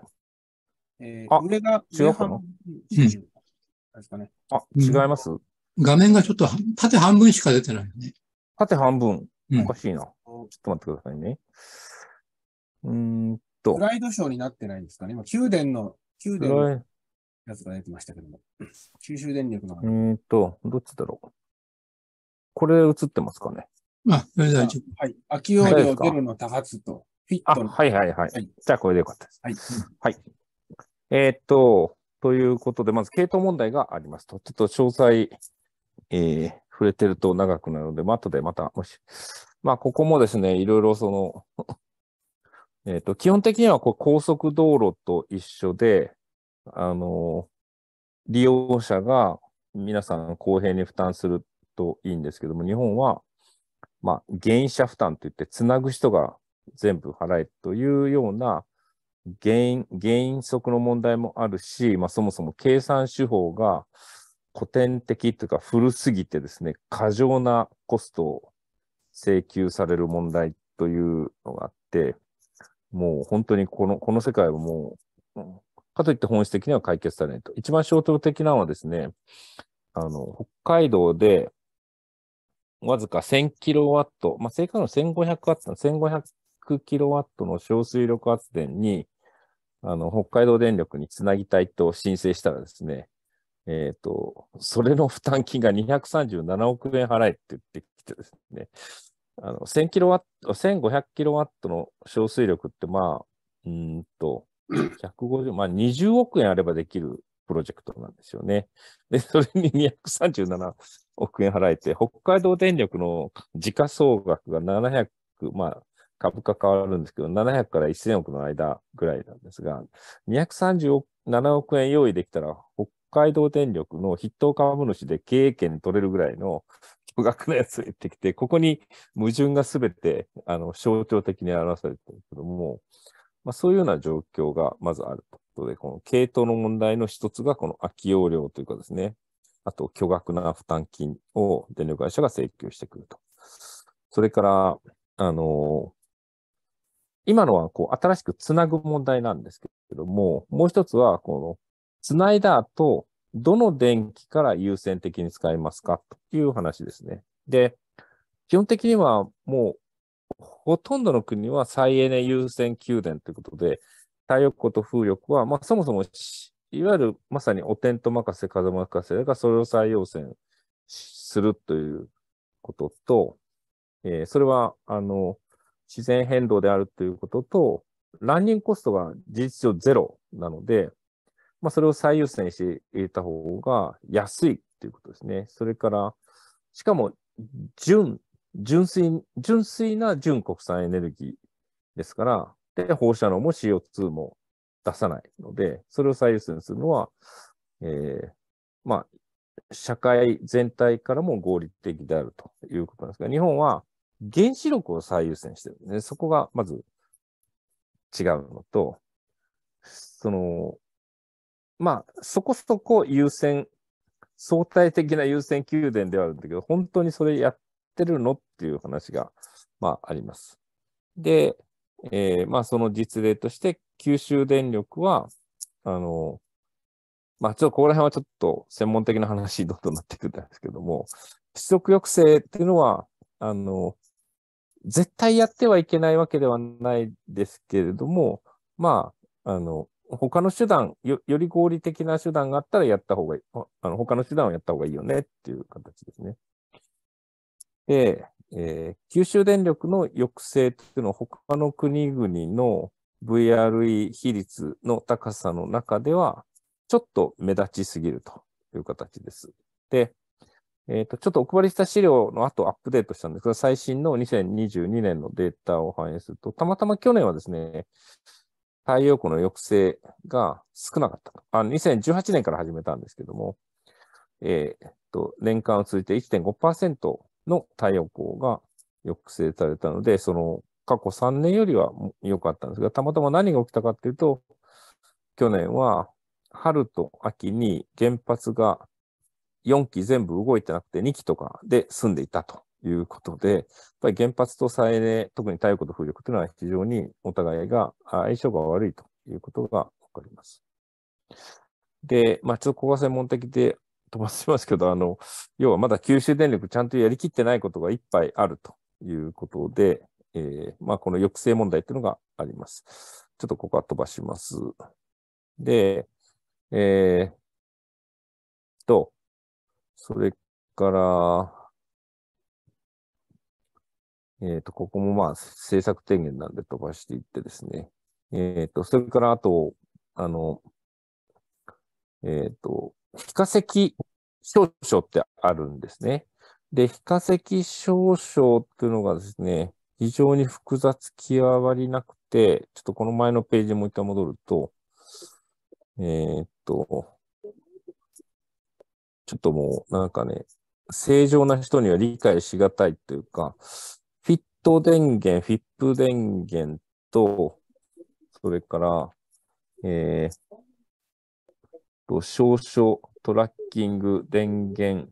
再エネ価値、二酸化炭素があるかないかと、RE100 に使えるか使えないかとか、高度化法、これはあのエネルギー供給高度化法の達成に使えるか使えないかっていうのをこうマトリックスにしたものですけれども、うん、もう、あの、中身を理解する必要ないんですが、もう一言で言って、もうカオスです。で、あの、これはな何が悪いのかっていうと、最初のボタンをかけ間違えていてですね、そもそも論から考えると、非化石価値なんてそもそも作る必要がなくて、これは、あの、えー、エネルギー供給行動化法という2009年に経産省が、あの、まあ、民主党政権できる前の土壇場で駆け込みで作ったあの法律で、で、それを使って、再エネプラス原発の比率を非化石と呼んで、それを高めるっていう目標を強引に作っちゃったことが最大のもう欠陥なんですね。で、あの、要はまあ、ちょっと言葉は汚いですけど、味噌とクソを一緒にしちゃったみたいな感じですね。で、えー、そもそも非化石証書なんかいらないでしょうと、再エネ価値でいいんだということですね。で、まあ、あとはもうフィット法の賦課金っていうところに環境価値を溶かしたっていう、まあ、これはもうちょっと、もうちょっと深い問題なんですけども、まあ、それをやめ、それをもうちょっときちんと整理しておけば、あの、一応グローバルに通用する、その価値の整理にできるんですが、まあ日本は、えー、まあ原発と経産省のおかげで、本当にぐちゃぐちゃの状況で、まあその RE100 って言われるアップルとかですね、えー、2014年から始まった再エネ100%で事業活動しようという、えー、世界のもう数百社が入って、日本も遅ればせながら今数十社まで広がってきた RE の、それを実証するための、あの、に、日本は一番その実証しにくいという、実証するのに極めて混乱しているということが言われていますと。飯田さん、すみません。はい。あの、はい、一旦ビデオをオフにして、もう一回オンにしてもらえますかね。あ、飯田さんのビデオですか？顔が出なくなっちゃって。あ、そうですか。じゃあもう一回やりますね。よいしょ。映像は出てます？顔も。えっとね、顔、顔、お顔の方が映ってないんですね。あれ？変ですね。うん、あ、本当ですね。えっと、じゃあこっちをこうすれば大丈夫かな。あ、これで大丈夫かね。私の顔が出てなかったということですね。はい、あ、はい。ただ、はい。で、これで。もう大丈夫ですかね。う？出てますか？出てますよね。はい。はい。はい、出てます。はい。はい。で、えー、っと、ちょっとここら辺もなんか、最近の、ちょっと、専門の講演分野を入れてたんで、ちょっと、あの、ごちゃごちゃと入れてますが、あの、さっきのですね、えー、っと、その、国のフィット制度が、こちらか。こう、あまりにごちゃごちゃとなってきたので、この国の作ったフィットとか、フィップ制度によらない PPA といわれる民間の民民取引で再エネを普及させようという取り組みを作ろうっていう試みが昨今ずっと広がってきていて、で、えー、それがですね、またすごく難しくて、えー、あの、オンサイト PPA というのは、他の発電事業者に自分のところの屋根を貸して、えー、その自分のお金で自分の屋根に太陽光をつけたら自家消費なんですけども、他の人の、えー、がつけてくれて、そこからあたかも電気を買うようなのをオンサイト PPA と言います。で、えー、そういう仕組みから自己託送というのは、あの、電力会社の送電線を借りて、自分が持っている土地、あるいは関連会社のところに太陽光とか風力を作って、その電気を自分の事業所に送ってくる。で、送電線はでも既存ので送電線を借りて送ってくるというのを自己託送というふうに言います。で、あとオフサイト PPA というのが離れたところで、えー、作られた電気を、えー、電力と一緒に買ってくるか、クレジットだけ買ってくるっていうのがフィジカル、もしくはバーチャルのオフサイト PPA で、あとはメニューとしての再エネ電力を、あの、既存の電力会社、もしくは新電力の作っている再エネ電力メニューから買ってくる。あるいはさ再エネクレジットだけを買ってくるという、こう、再エネにするためのいろんなやり方があるんですけれども、まあ、この中身を一個一個ちょっと説明しませんし、まあ、ご理解する必要もないんですけども、まあ、あの、これもやっぱり既存の政策そのものがきちんと整ってないがゆえにですね、えー、非常に、まあ、どれもハードルが高い。まあオン、オンサイト PPA だけは一番やりやすいんですけれども、極めてその政策はやあの政策を含めてあの普及しにくい状況になっていて、まあ、それがあの普及が今滞っている現状になっているのかなということですね。で、あとは、やはり、あの、全体としての統合性とか有機的連携、もしくは他の再エネ政策の周辺の政策との、あの、連携が十分にできてないというところがあります。というのは、あの、えっ、ー、と、まあ、再エネに一番近い電力分野ですね。電力分野がやっぱりきちんと、まあ、究極的には発送電分離がちゃんとできていないことと、それから、その、新しい電力市場を支えるえー、デジタルとか市場をきちんと作ることができていないということが、まあ、最大の問題だということですかね。で、まあ、電力不足というのはですね、あのー、実は、その、まあ、なんていうか、えー、今年じゃないか、去年の夏に騒いでいたのは、あの、まあ、空騒ぎであったというか、うんと、東京電力管内で言うと、えー、まあ、これは、ちょっと1年前になりますけど、2021年度、2021年4月1日から2020年の3月31日までの、えっ、ー、と、1日24時間かける365日8760時間を1時間ごとに需要が多い順に輪切りで並べ直したのがこの赤の濃いグラフで、で、2021年度は、ピークは8月26日のお昼13時のが8000、あ、失礼、5650万キロワットでしたということですね。それがここ、ここです。で、えー、実はこの10年間で太陽光が急激に増えたので、昼間の午後1時というのは太陽光はドドッとなだれ込んでいるので、実はあの、もう、本当にもピークではなくなってきているんですね。で、太陽光をさっぴったら、あの、えっ、ー、と、こちらの下に落ちてきます。で、こちらの下は500万キロワットして5150万キロワットなんですが、その同じ8月26日じゃなくて、2022年、去年の1月6日のしかも昼間1時じゃなくて夕方5時、太陽光が消えた後の夕方5時に落ちて、で、500万キロ下がります。で500万キロっていうと、東京電力のあの発電供給力の約10%なので、えー、実は太陽光をカウントすると、去年の6月にですね、えっ、ー、と、梅雨が、えー、梅雨なのに早く、えー、かなり明けて異常に暑くなって電力が足りませんっていうことを、岸田さんも経産大臣も大騒ぎしていて、えー、経産省が予備予備率がもう3%に減りましたとか出してたんですけど、どうやら、その予備率には太陽光をカウントしてなかったんじゃないかっていう非常にお粗末な失敗で、太陽光をカウントしたらその3%じゃなくて、かなり余ってた余地、要素がかなりありそうだということですね。で、もう一つ大事なことはですね、この、えっ、と、1年間24時間かける800、あ、24時間かける365日で8760時間のうち、わずか50時間、0.5%だけ下るとですね、やっぱりまた500万キロワット10%需要が落ちるんです。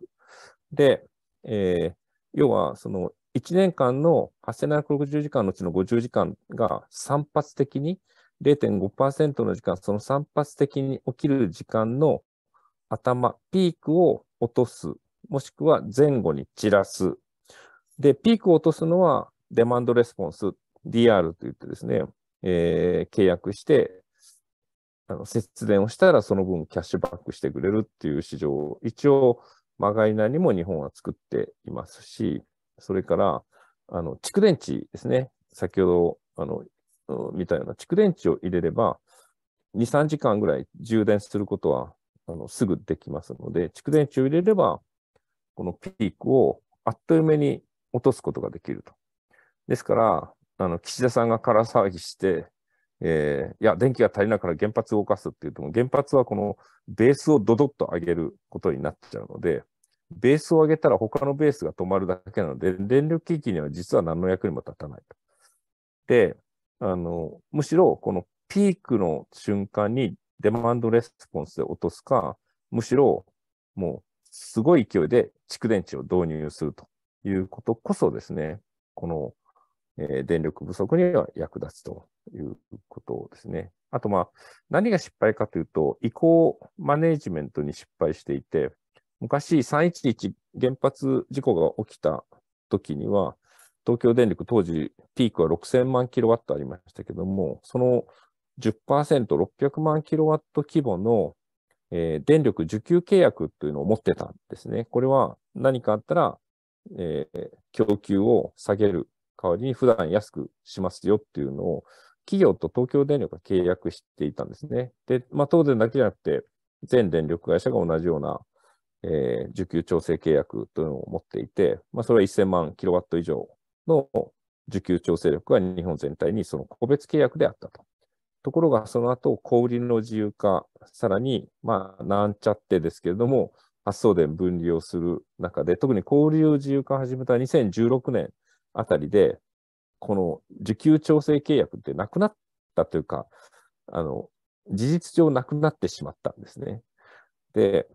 あの、自由化するのはいいんだけど、その、えー、そういうことをきちんと維持しておけば、それだけでも10%受給調整する余地があったので、これは自由化を進める、自由化そのものの制度設計にも失敗してるけれども、そこに持っていくカット的な移行マネジメントにも、まあ、失敗をしたというのが、まあ、実態ではないかというふうに思っています。それから、この自由化で、えっ、と、特にこの2020年の暮れからですね、1キロワット時あたり250円一瞬上がって、まあ、普段はですね、だいたい8円とか10円でずっと市場は推移してるんですが、この瞬間、ピークポンと跳ね上がって、それで大騒ぎになって、一応、ちょっとこの例外値がありますが、基本的には80円を上限にしましょうと。ただ、あの上限80円を抑えたらいいんですが、今、ベースとして異常に高くなっていって、えー、新電力はもうバタバタと倒産をしているというような状況があります。で、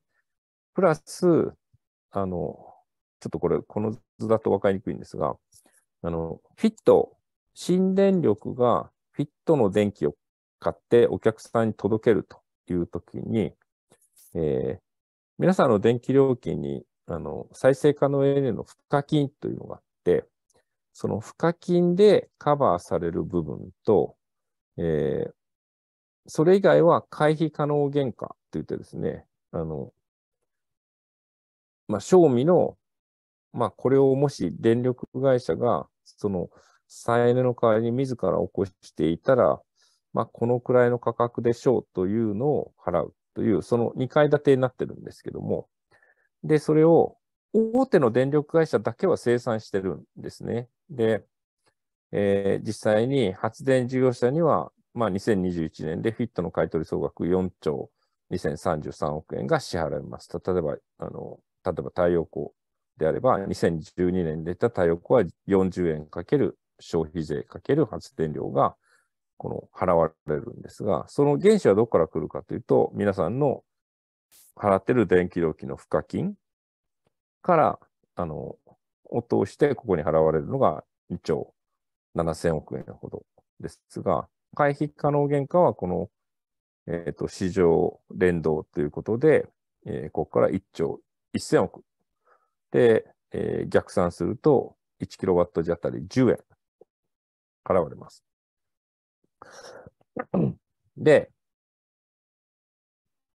で、これは一旦送配電買取がほとんどなので、旧一般電気事業者の送配電部門がすべて一旦立て替えて、このフィットの金額を払い、それを JPEX の市場から1兆4000億もらい、消費者から2兆もらうと。で、問題はですね、この小売新、電力の人がこのフィットの電気を買いたいって言って消費者に届けようとすると、まあ、この付加金は、まあ、関係ないんですが、この回避可能原価を払って、払う消費者に届け出る、この回避可能原価は、旧、いわゆる、旧一般電気事業者は、年間を通した平均値でいいんですけど、小売電気事業者はですね、この激烈によくこの市場コストで 調達しなきゃいけないので、これすごい逆剤になっているんですね。で、で、しかも、うん、市場だと結局なんかフェアに一見見えるんですけれども、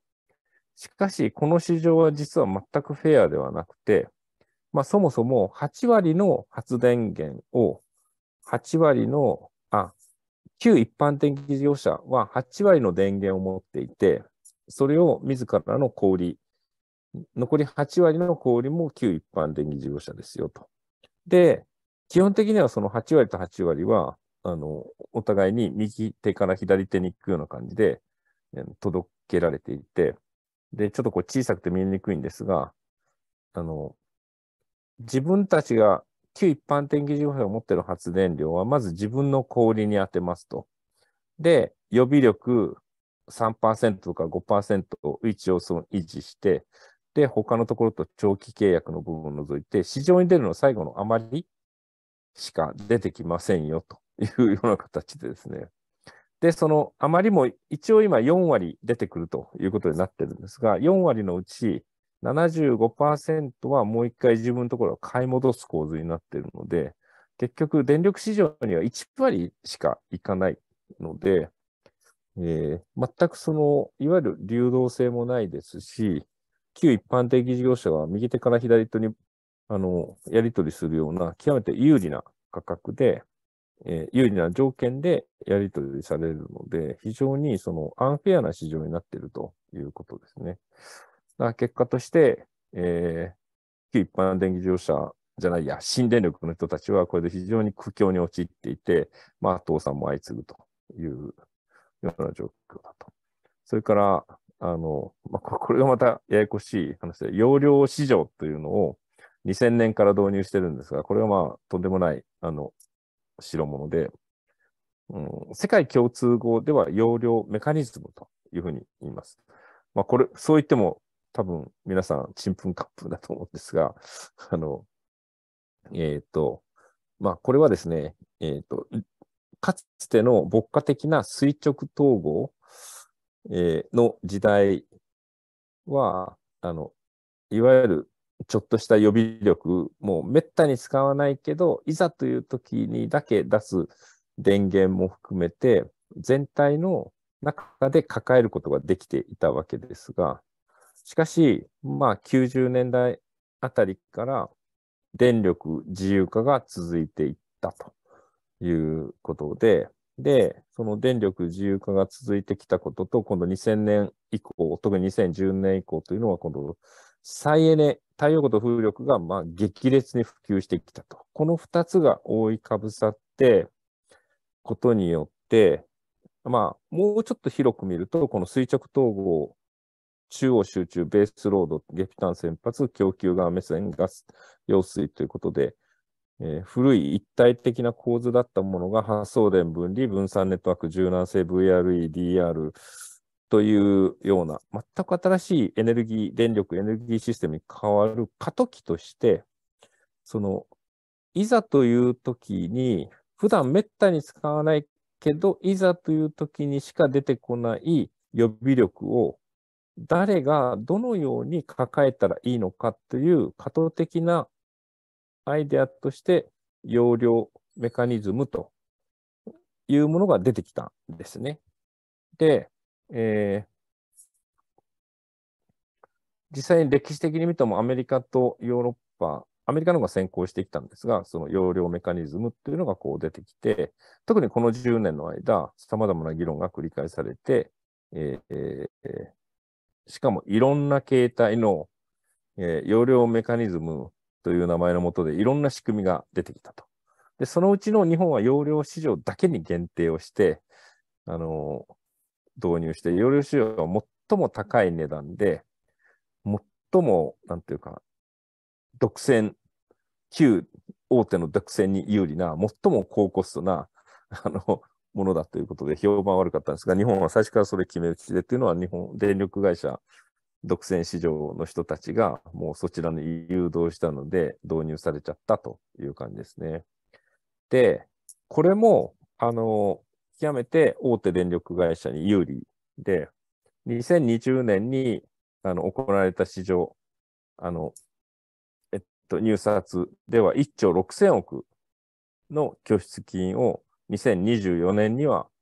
出してくださいねと。で、2021年、2020、2021年はあまりに批判が殺到したので安くなったんですが、3分の1ぐらい安くなって、で、えー、つい最近、2022年度分が、で、今度またちょっと戻ってきて、初年度の半額ぐらい。これを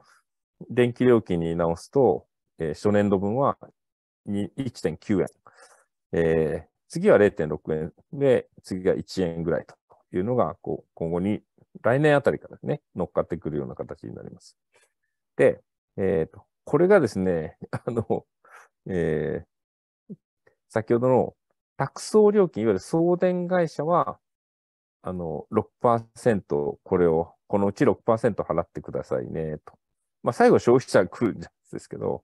で、小売が80%です。あの、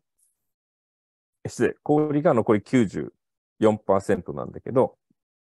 そのうちの80%は旧一般電気事業者なんですね。で、新電力は約20%。で、で、この6%足して全体で割り算すると18.8%は新電力が払い、81.2%は、あの、この旧一電の小売もしくは送電が払うんだけど、結局、日本の自由化というのは、あ自由化の絵を入れればよかったんですが、例えば関西電力であれば、関西電力の下に子会社で一般送電配線会社があると。で、発電会社は関電、関西電力の中にあるので、小売が払うって言ってもですね、関電の小売部門から関電の発電部門に行くだけ、もしくは関電の子会社の送配電から関電の親会社の発電部門に行くだけなので、ここはですね、全部自社で完結してるわけです。ところが、旧一般的事業者はですね、この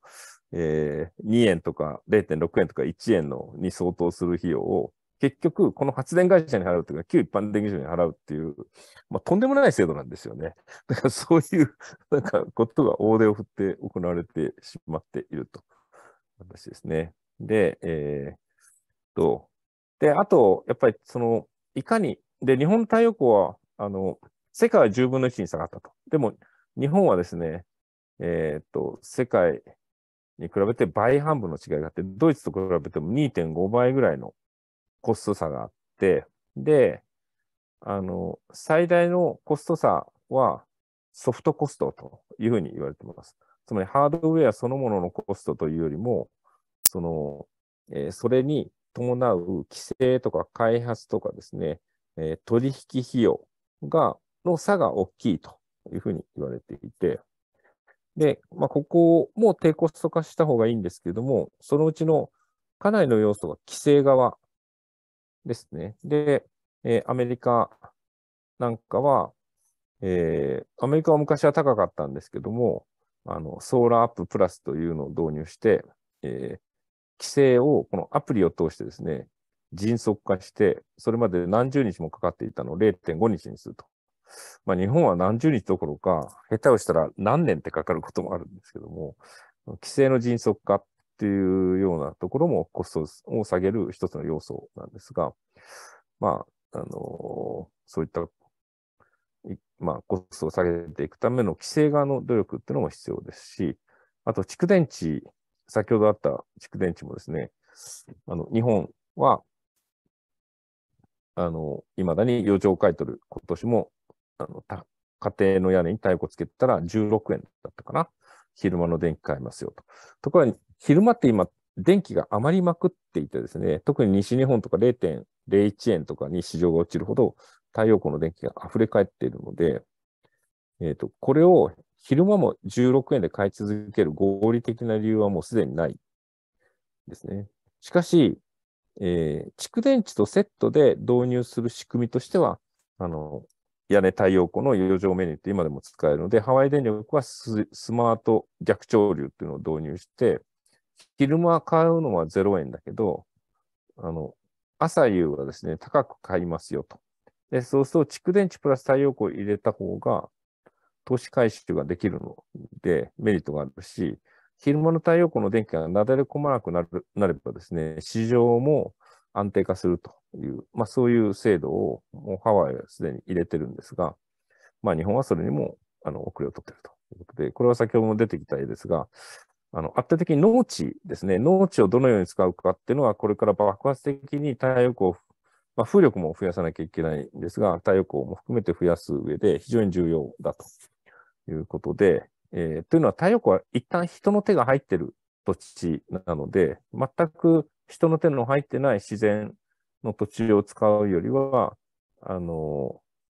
農地の方が、まあ、優先度を高くした方がいいだろうと。まあ、かといって農業生産であるとか、その食料生産に、えー、マイナスになっては困るという、まあ、そのバランスが必要ですけども、まあそう言っても、営農ソーラーに対して、まあ諸外国というか、まあ特にヨーロッパとアメリカは非常に力を入れていると。で、あと韓国、台湾もそうですね。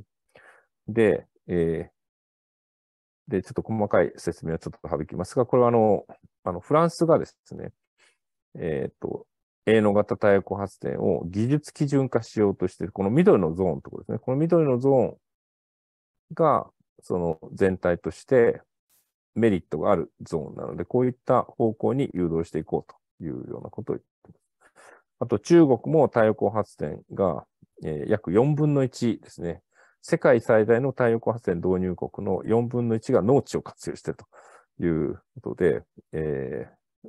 まあそれは大したもんだなということで、ちょっとこれ飛ばしていきますが、で、問題はですね、やっぱり、あの、農水省全体、もしくは農業関係者は、太陽光は異物としか見てないんですね。で、農地に入れたくないという異物感が半端なくて、しかし、国際的には、営農ソーラーというのは、実は、ものすごく多面的な便益があるという方向にまあ、農地っていうのはどこの国も非常に複雑な規制体系なので、そう簡単ではないけども、基本的にはでも進めていこうという大きな流れになっていて、で、あの、冒頭にあったドイツの制度、あの、新しい再エネ法の中でも、営農型太陽光発電はプラス1点、えー、プラス2円弱のですね、えー、追加的な技術サポート買取費っていうのがつくぐらいですね、支援されてるんですけども。で、日本の最大の問題は、営農型太陽光発電やろうとすると、そこで20年間農業しないと、えー、太陽光発電を撤去してくださいっていうですね、農業の継続性とが人柱で入っていて、これはもう私は無理ゲーの世界と。の、そこの土地でその農家の方に20年間農業を継続しないと農地取り上げるぞって言ったら日本中の農地が 取り上げられると思うんですけども、そういうことを太陽光営農型太陽光発電だけに義務付けるってもうナンセンス極まりないと私は思っています。だからフランスと同じように技術基準にして、で、あの、ハウスと同じように、ビニールハウスと同じように農家の人が技術基準さえ満足すれば導入することができて、それを自らの収入のプラスにしていくっていう基準化にしていけばですね、全然ベクトルが変わってくるんですけども、まあ、ここも本当に、あの、まあ、ちょっと私は半分悪口で、えー、の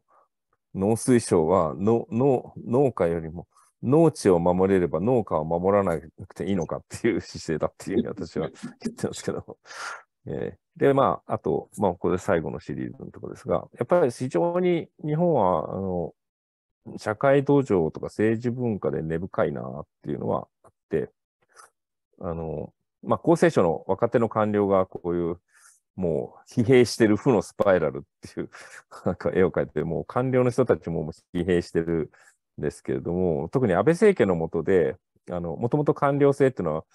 えー、分業をこう、こうやって、あの、ウーバー的官僚の特徴の中で、でも効率で予測可能で信頼があって公正な手続きで、非常に融通きかないけども、まあ、あの、ウーバー的、あ、ウェーバー的官僚のメリットは一方であるよと。しかし、安倍政権後はこれ、これが全部ダメになってきてるんじゃないかという気がしますけれども、その上に、あの、なんていうか、いわゆる鉄の五角形の世界の中で、えー、本当に、あの、日本は政治行政官僚がとんでもない状況になってきているかなというのと、あと、その、世界的な官僚まあ、官僚だけじゃなくて、地方行政の役人も含めて、まあ、私もヨーロッパに長くしばらくいましたけども、あの、基本的に、やっぱりその今、なんていうか、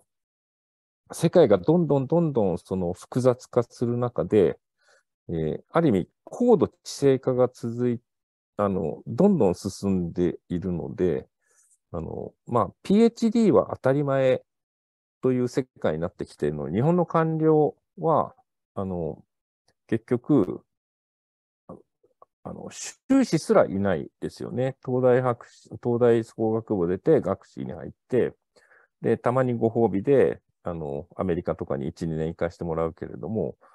で、結局、その、相対的に、相対性理論で日本の役人の水準ってどんどん落ちているんじゃないか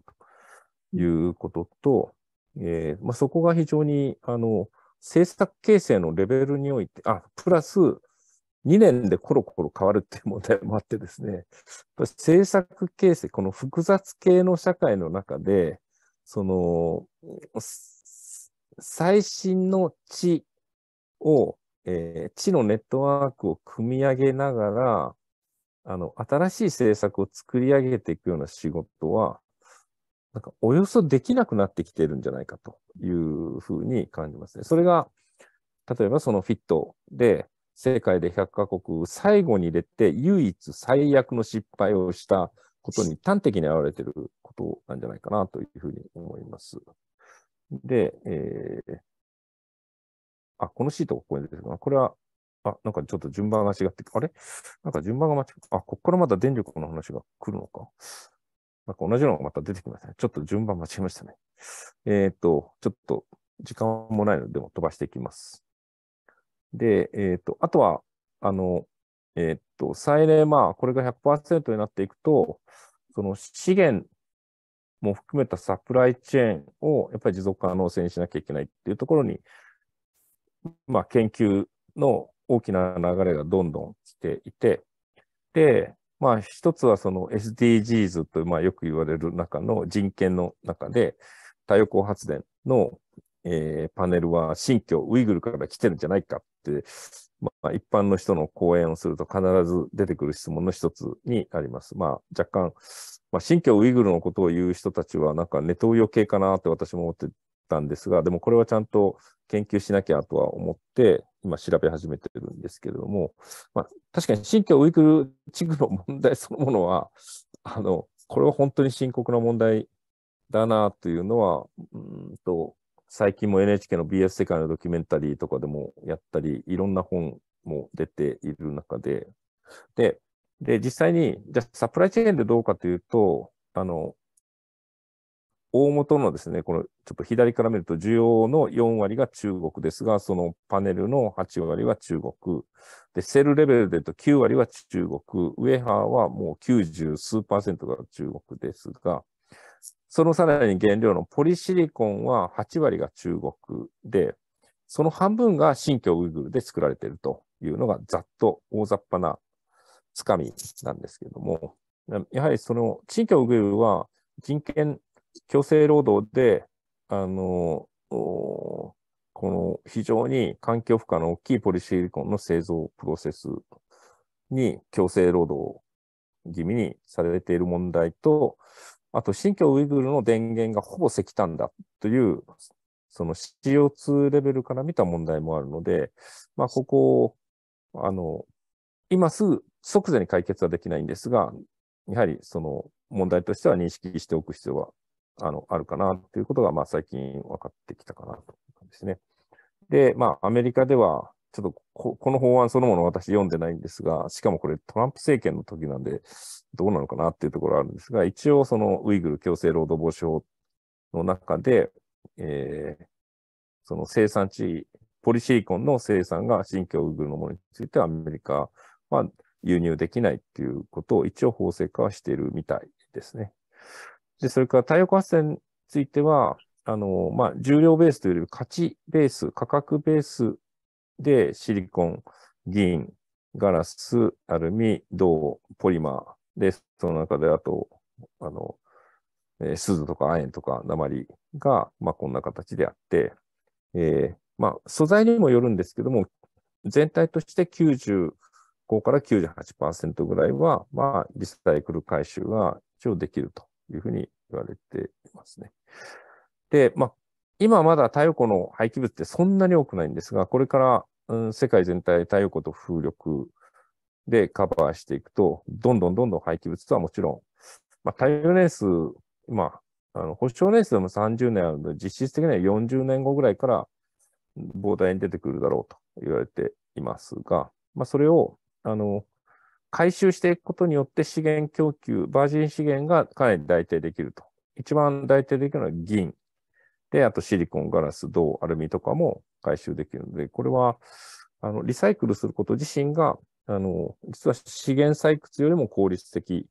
であるし、まあ、量的には、あの、えー、まあ、十分にカバーできるだろうというところがあります。その、えー、いわゆるレアメタル問題とかも含めてですね。えー、これはちょっと飛ばして。あと、リチウムイオン。EV もリチウムイオンの、えっ、ー、と、埋蔵量、リチウム自体の埋蔵量は、まあ、十分にありそうで、かつ今エネルギー密度がどんどん上がってきていることと、まあ、より長期的に使えることと、あとリサイクルそのものも、もうすでに、えー、産業、産業とか企業としてももう誕生して成立していることと、脱コバルト、脱ニッケル、あるいはリチウムに変わる素材っていうのもどんどん始まってきているので、でかつ EV 車両の効率化とバッテリーの小型化で、その先ほどの自動運転シェアリングにすることによって、そもそも社会全体の車のストックも落としていくというような形が、まあ、えー、同時並行的に取り組む必要があるかなと。いうことですかね。それから、あの、まあ、日本ではやっぱり最初に、えー、全く土地利用計画のないまま、もう線引きで太陽光があちこちに作られて、えー、まあ、こういった問題を起こしているところがあるということですね。で、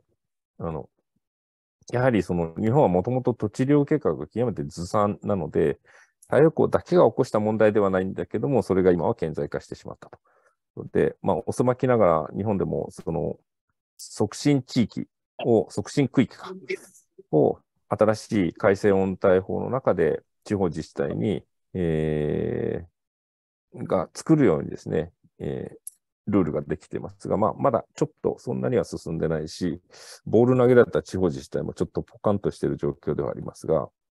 まあ、デンマークは全土にわたって、えーまあ、風力だけに限りませんが、ゾーニングはもう行われていて、しかもそこに地域の参加とオーナーシップっていうのが、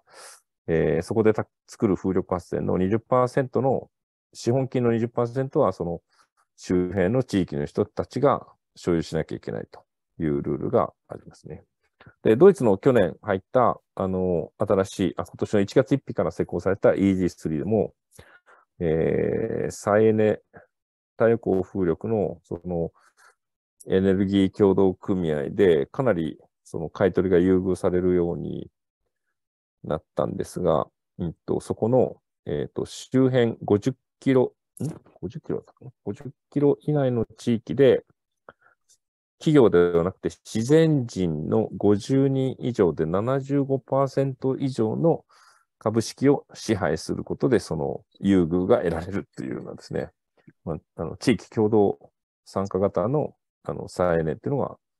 えー、やはりこれから非常に重視されると。で、あデンマークのあのゾーニングをかぶせていった結果って本当にちょっとしか残らないというところで、なおかつ、えー、戦略アセスをやって、しかもそこで地域のオーナーシップが重視されるということが重要かなと。そうですね。え、先ほどのあたか地熱の話をされていましたけども、えーと、基本的に究極的かつそれを技術的、経済的に利用可能なの太陽光発電と、まあ、太陽熱は日本ではほぼ利用不可能なので、えー、風力としかなくてですね。で、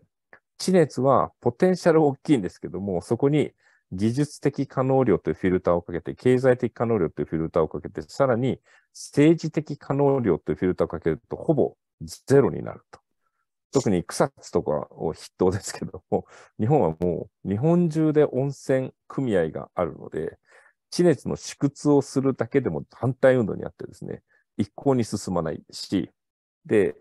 頑張って縮屈をしてもですね、結局地下のことなので、なかなか良い地熱資源に当たらない可能性もあるということで、なかなかその太陽光とか風力みたいに指数関数的に伸びるような状況からは全く程遠いというのが現実ですね。で、まあ、先ほど言ったように農地を進める中で、まあ、営農型太陽光発電というのは今、その立体的に、えー、土地を重層的に使うという意味では期待をされているということで、まあ、いろんな形態ありますこういうフェンス型のですね、こういうあの発電とかも広がって、やはりその地域の中でエネルギーを地産地消すると、まあ、日本全体も去年33兆円の化石燃料の輸入で GDP の6%失ってますけれども、地方自治体単位でも5%から10%ぐらいの地域経済価値を エネルギーで失っていて、まあ、それをいかに地産地消地域の価値にしていくことは、まあ、経済的な、あの、活性化と自立にもつながっていくということで、環境省が去年から脱炭素先行地域ということで、日本中に、これから2030年にかけて、100の再エネ100%の地域を作るってプロジェクトを去年から始めて、1箇所5年間で50億円の交付金で4分の3の、最大4分の3の補助金を当てるというですね、非常に大盤振る舞いのプロジェクトが始まっていて、私もいくつかちょっと関わってるんですけども、えー、まあなかなか大変ではありますということで、まあ、あの、まあ、世間的に、世間的だけじゃないですね。やっぱりその、まあ、一つは脱原発っていう話があり、えー、それをまあ、あのいわゆる気候危機というのももちろん大変な問題というか、まあ、それが一番もちろん大きな問題ではあるんですけれども、まあ、私自身の認識はもちろん気候危機はあの大変な問題だし、脱原発もしっかりやんなきゃいけないんですが、今、太陽の時代がもうはっきりと来ているなという形で、このテクノロジーによる、そしてしかもそれをデモクラシーというか、一人一人が、あるいは地域が参加しながらボトムアップで、えー、エネルギー転換を進めていくっていうことがリアルにできる時代になってきているので、あの、まあ、上から目線で気候危機で CO2 を減らすということを上から見てやってると、この急激な危機はなかなかあの回避できないかなということで、えー、絶望してしまうかもしれませんし、あと、脱炭素とか気候危機だけだとですね、えー、原発推進派にそこを絡め取られちゃったりするので、まあ、あの、再エネ100、しかも太陽光によるボトムアップの転換っていうのが、その両方をぶち破っていく、今、大きな、あの、チャンスというかですね、鍵になってるんじゃないかというふうに思いますと。とで、最、ちょっと時間超過したのと、資料もかなり飛ばしましたけども、以上で一旦終わりたいと思います。はい、どうもありがとうございました。あ、えー、飯田さんどうも、はい、大変ありがとうございました。はい、え、っと、なかなかこれ、吸収するのは大変ですけれども、えー、やっぱり、かなりなってるから、あの、えー、まあ、デモクラシーまでちゃんと、えー、視野に入れて考えないといけないというようなお話で、えー、ちょっと、えー、本当に吸収するのに時間がかかりそうな感じですけども、はい、大変ありがとうございました。えっ、と、それじゃあちょっと10分ぐらい休憩ということで、えっ、と、9時20分からにしましょうか。はい。はい。9時20分に再開ということで、えー、休憩です。それでは、あの、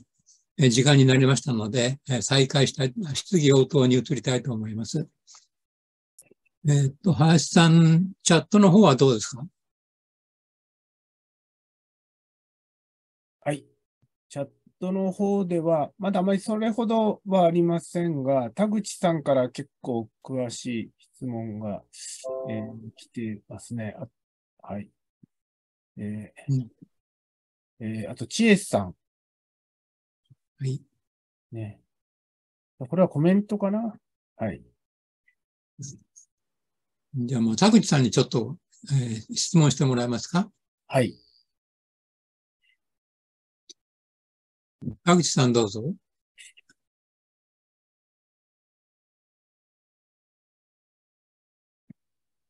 チャットに書いてある通りなんですけども、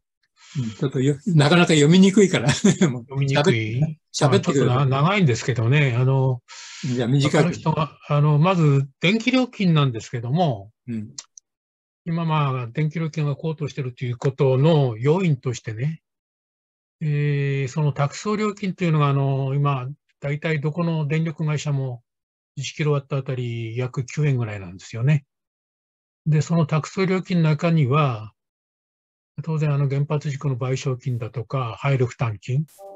それから電源回促進税だとかが含まれてまして、で、東電の場合はですね、あの、再エネの比率が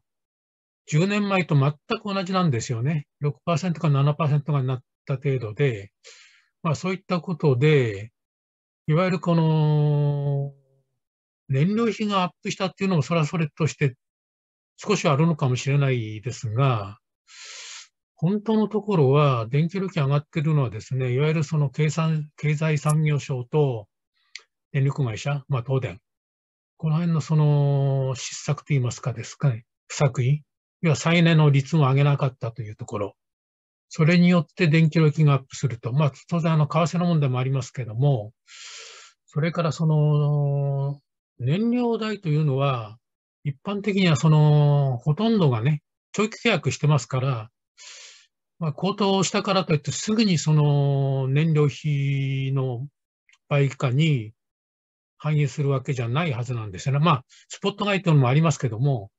まあ、それは多分一部だと思うんでね。だから、どうもこのその電気料金を上げるという、なんていうんですかね、その、まあ、タイミングよく、その、化石燃料費が上がったから上げちゃいというね、要はその彼らの不作為だとか失策が、なぜその消費者に電気料金をアップさせるんだということなんですよね。これざっくり計算しちゃうとですね、大体、えー、原発事故で約60とか70兆円もかかるということになるとですね、これ50年ぐらいで支払うと、一つの家族で大体50年間で150万から220万、210万ぐらいを支払うことになるんですよね。ざっくりですけど。で、今まで40年間の間に20兆円ぐらい原発推進でかかってますから、そういうのも入れると、一つの家族で、一世帯で、まあ200万ぐらいすでに負担してると。負担っていうか今後も含めるとね。まあそんなことでどうその辺のところは お考えかなという、この計算、まあ必ずしも合ってないかもしれませんけど、どう、どのようにお考えでしょうかというのが1点目ですね。まず一つずつお答えいただく方がいいですかね。全部やっちゃうとね。大変だね。いかがでしょうか？はい。あのー、1点目と言いつつもすごく重たいというか、中にいろいろ立体的な問題があるし、かつ、あの、私自身が知見を持たず、あの、答えきれないところも多いんですけれども、まあ、あの、私が、あの、感覚的な部分も含めてある程度お答えできるという部分としては、あの、まあそうですね。えっと、それこそドイツとかの比較で言うと、ドイツが先ほど再値44%ぐらいまで広がってきて、で、あの、その、まあ、やっぱりその再エネを増やせば、再エネって燃料費ただなので、まあ、専門用語で言うと限界費用が0円なので、再エネがやっぱり比率が高くなればなるほど、そこの部分の電気料金は下がる。下がるっていうか、あの、コストは下がるんですよね。だから、あの、えー、日本はそこがちゃんとできていないっていう要素が、もう、あの、どっかのパートで今おっしゃった通りでですね。で、それが、あの、ますます広がっていけば、まあ、ドイツの方は今後、そこの、えー、燃料費に伴うコスト増というのはどんどん解消していくということと、で、まあ、ドイツも日本と同じ同じようにというか、日本が真似したわけですけども、再エネ賦課金というのが乗っかってたんですが、今回の法改正で、それを0円にしたんですよね。棒引きにしたと。で、何、どうやって棒引きしたかっていうと、あの、環境税が非常に高いので、石炭素税がですね、そちらの方で埋めることにして、一般の消費者に乗っかる賦課金を0円にしたんですよ。うん、まあ、もちろんどっかで炭素税を払ってるわけですけども、電気料金の中で見える賦課金は、再エネ賦課金はゼロにしたというのが、あの、すごく大胆ですけれども、で、で、日本はこの環境税を入れることにも失敗しているので、再エネ賦課金をそちらに振り返るってこともできないという まあ問題もあると。それから、あの、原子力の方は本当にやりたい放題で、まあ、経産省は、その、国会を通す税金よりは、託送料金を使って再処理なんちゃら金だとか、いろんなものを、あと、さらには、あの、え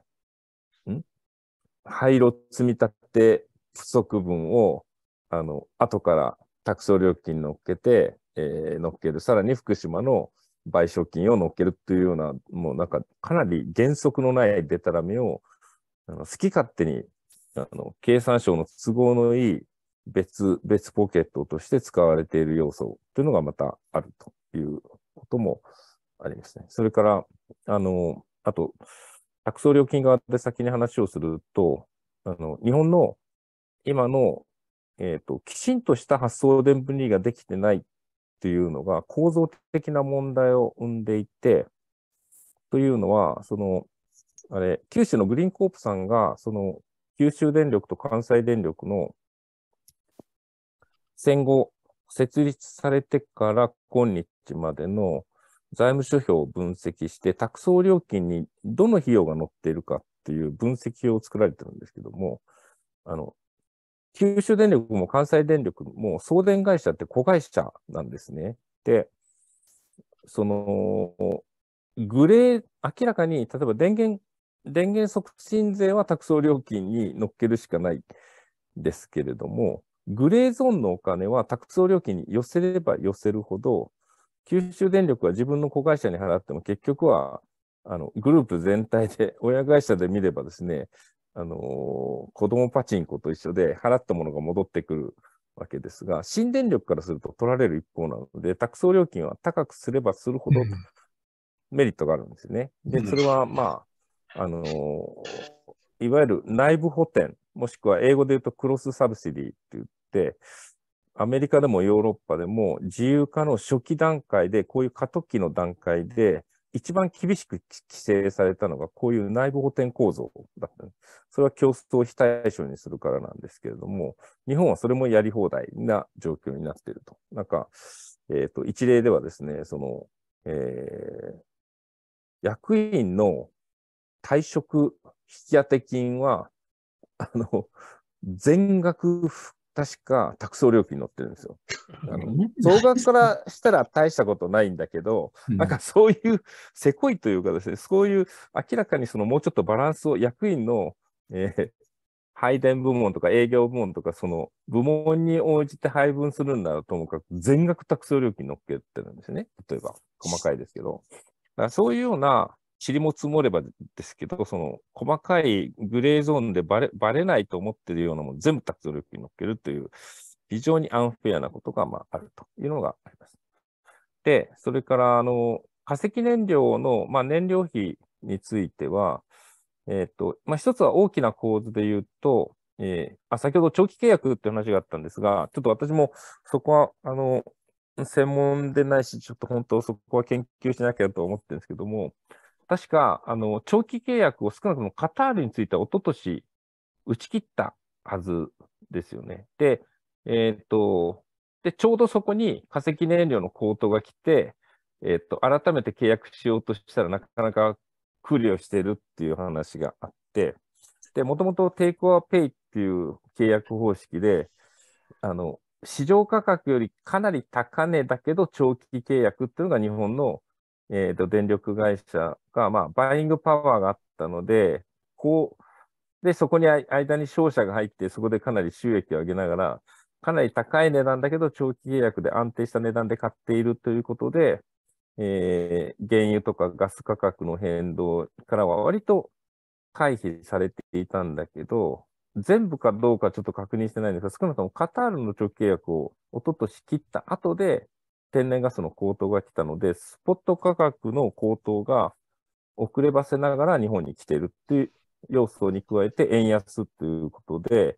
えー、まあ、昨今の高騰につながっているのかなというのが一つですね。で、あのー、天然ガスも原油価格も今落ちてきているんですね。だけど、日本は若干そこが遅れてきているので、今、遅れてきた値上げに来ているという要素があるのかなと。で、そこにはまたもう一段細かい話があって、家庭のところが規制料金と自由料金と2つの、えっと、2つの制度が並走していて、で、規制料金は、えっと、自由化の中でも一応、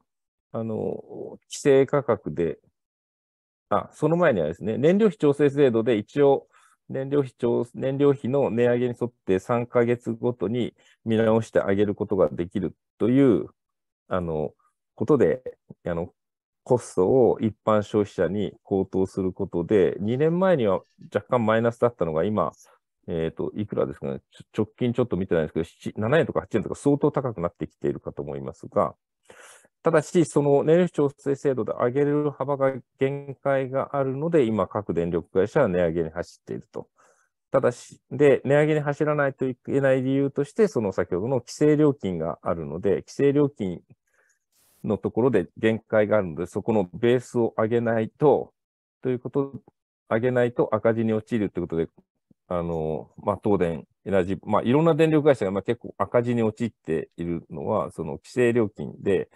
燃料費調整制度があっても上げれる範囲が、まあ、限界があるからなので、そこを今上げにかかってきているというような、まあ、ちょっとそこが、あの、日本特殊な構造、その、これまで長期契約していたけど一部外れることで、遅れ、遅ればせながら、円安効果も含めて、まあ、高値のスポット価格の燃料費高騰に電力会社が対応できないことで、値上げを迫った、値上げせざるを得ないということで、今、値上げ協議に入っていて、の自由化、自由化の高圧については相当もうすでに上がってきているというような構図で、でも電力会社が上げないことには、新電力はそれに、それにをベンチマークとしているということと、先ほどの卸電力取引所そのものが非常に不公正な状況で、より厳しい苦境にあるのが新電力っていう、こう、まあそんな、あの、絵絵柄というかですね、全体的にはなっているのかなというふうにあの思います。はい。ちょっと、あの、はい。そんなとこですかね。た高橋さんの質問もいろいろあるんですけども、その前に、はい、えー、これ対極的な質問で、えー、はい、まあ、あの、大改革をしなければいけないのに、えー、これ、武蔵さんからですかね。えー、いずれ世界中の自動車産業と関連企業の大量失業問題というのが起こる、はい、特にこれは日本で深刻になるんではないかというご質問ではないかと思うんですけれども。あの、あ、それはもう間違いなく起きますね。はい。あのー、えー、っと、これは、あのー、テスラがやっぱり圧倒的にすごいスピードで進化というか、どんどん、あの、進化していて、で、まあ、そこに中国、BYD を筆頭として中国が、まあ、あの、必死で追いかけていると。で、えー、まあ、日本の自動車メーカー、トヨタを筆頭として完全に出遅れてしまっていて、あの、いち早く動き始めたボルボ、それからあの、ディーゼルゲートで、あの、の挽回で、もう5年前から EV に切り替えて必死で走っているフォルクスワーゲンとか、えー、まあ、GM はかなりダメですけど、フォードなんかはテスラを意識して、まあ、テス、フォードとフォルクスワーゲンというのはテスラをベンチマークにしながら必死で追いかけようとしてるんですが、差は開く一方という感じです。だからもうすでに気づいてるえー、まあ、旧自動、まあ、旧というか既存の自動車メーカー、大手の自動車メーカーが全速力で走ろうとしているのに、差が開く一方で、えー、まあ、一方、新興スタートアップで全速力で走れる中国は、まあ、なんとか、特に BYD とか、あの、テスラの背中をある程度、えー、睨みながら追いついているという構図なので、まずその製造業としての自動車産業はもう本当に大きく絵柄が変わりますね。これは単に自動車産業ということだけではなくて、えー、まあ、一つはその、えー、完全に、えー、まあ、なんとか IT とかデジタルというか、あの、完全に、例えばソフトウェアの、あの、オーバーザエア、OTA と言われるそのアップデートが、既存の自動車メーカーできないんですよね。あの、フォルクスワーゲンとかでもできなくて、トヨタとかも論外で、で、そのソフトウェア力がもう完全に、まあ、負けているとか、製造プロセスの力が、あの、テスラはそのギガプレスっていう、えー、前後70、合計150ぐらいのパーツを、あの、普通の自動車産業、ロボットを使ったり、人手を使ったり、溶接やリベットとかでバーっと作るのを2つのピースでアルミ合金で一気に作っちゃうので、フォルクスワーゲンとかトヨタが1台で作るスピードが、あの、3分の1、3倍のスピードでできて、で、自動車、なんだ、自動、えー、ロボットとか人手がですね、その随分節約できて、で、しかも、あの、強度も一体化して強度も増してっていう、その、それ一つをとってもですね、そのギガプロレスを導入してね、今のところテスラ導入とか自分たちで開発してるわけですけども、今そこにまあ中国メーカーがようやくそこに追いつく、追いつくっていうか、あの、真似をしようとしてるんだけど、既存の自動車メーカーはそこに追いつけないとかですね。まあ、あの、一個一個、その、内側を見ていっても全然ついていけないですが、あと自動運転もテスラは AI を自前化して、まあ、オープン AI をもともと作った、今流行りのチャット GPT のあの生み出したオープン AI の共同創設者がテスラのあのイーロン・マスクですけども、うん、今、道場っていうスーパーコンピューターでディープラーニングをさせていて、えー、もう自動運転を特化したスーパーコンピューターを置いて、で、今、世界中で400万台テスラ走ってるんですかね。その、それをシャドウモードで、あの、データをすべて吸い上げながら、そのディープラーニングをどんどんさせているということで、日本でまだ実用化されてないフルセルフドライブ FSD で、もうすぐ11.3が出るのかな？は、もう本当にどんどんすごく進化していて、アメリカでもともと進んでると思われていた Google のあの、ウェイモとかがカリフォルニアでどんどんどんどんスタックしたりしているのに対して、やはりそのテスラ方式とビジョン方式でスーパーコンピューターでどんどんあの AI で進化させているテスラはもう圧倒的なリードですね。あとはまあ哲学的な問題とリーガルな問題で、あの、をクリアしたところで自動運転がどっかで、まあ、ブレイクスルーするとは思うんですけれども、まあ、安全性をそれですごく高めることはもちろんできますし、まあ、そうすると、あのまあ、それが本当に日常化すると、今度はドライバーとかね、タクシーとかトラックとかのドライバーといった仕事もなくなっていきますし、その EV 自動運転とかを取り巻く、その自動車産業だけでなく自動車関連の様々なサービス産業も根こそぎ変わっていくという、その、ガラケーからスマホに変わって GAFA が世界をしたようなことが、今度はモビリティを中心に、あの、起き始め、えー、もうあって、起き始めつつあって、それが多分そんな何十年も先じゃなくて、本当に数年から10年のスパンで、まあ、起きるんじゃないかというふうに思います。で、そこで、果たして日本は経済と雇用と果たして、あの、えー、どうやって生き延びるんだろうっていうのは、私自身も全くわからないですね。あのはい。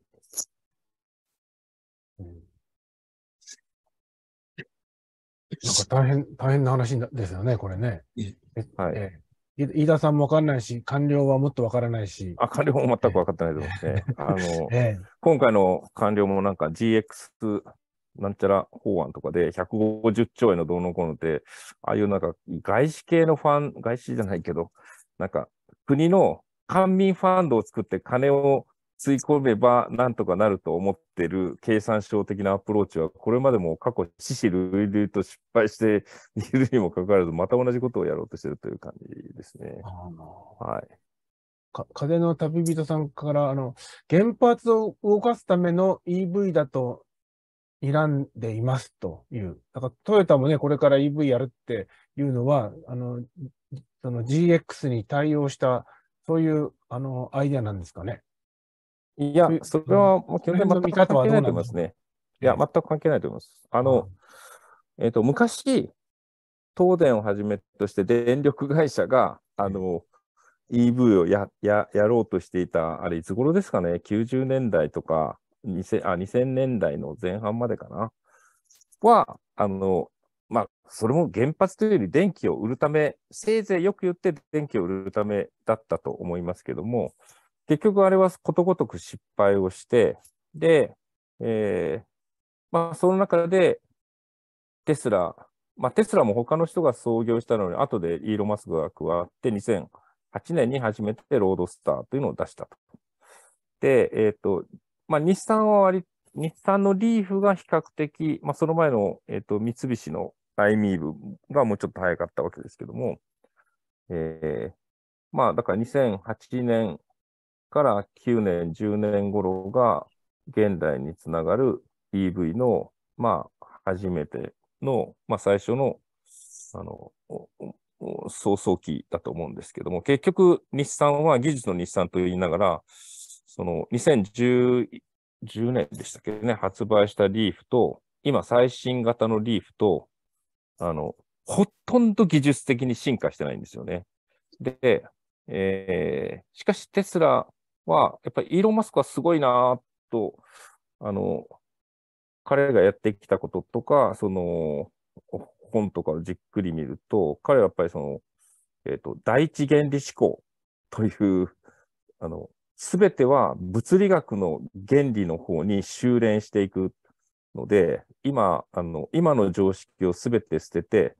えっ、ー、と、物理学のゼロから作り直すんだということで、さっきの、その、ギガプレスであるとかですね、あの、電池も、あの、パナソニック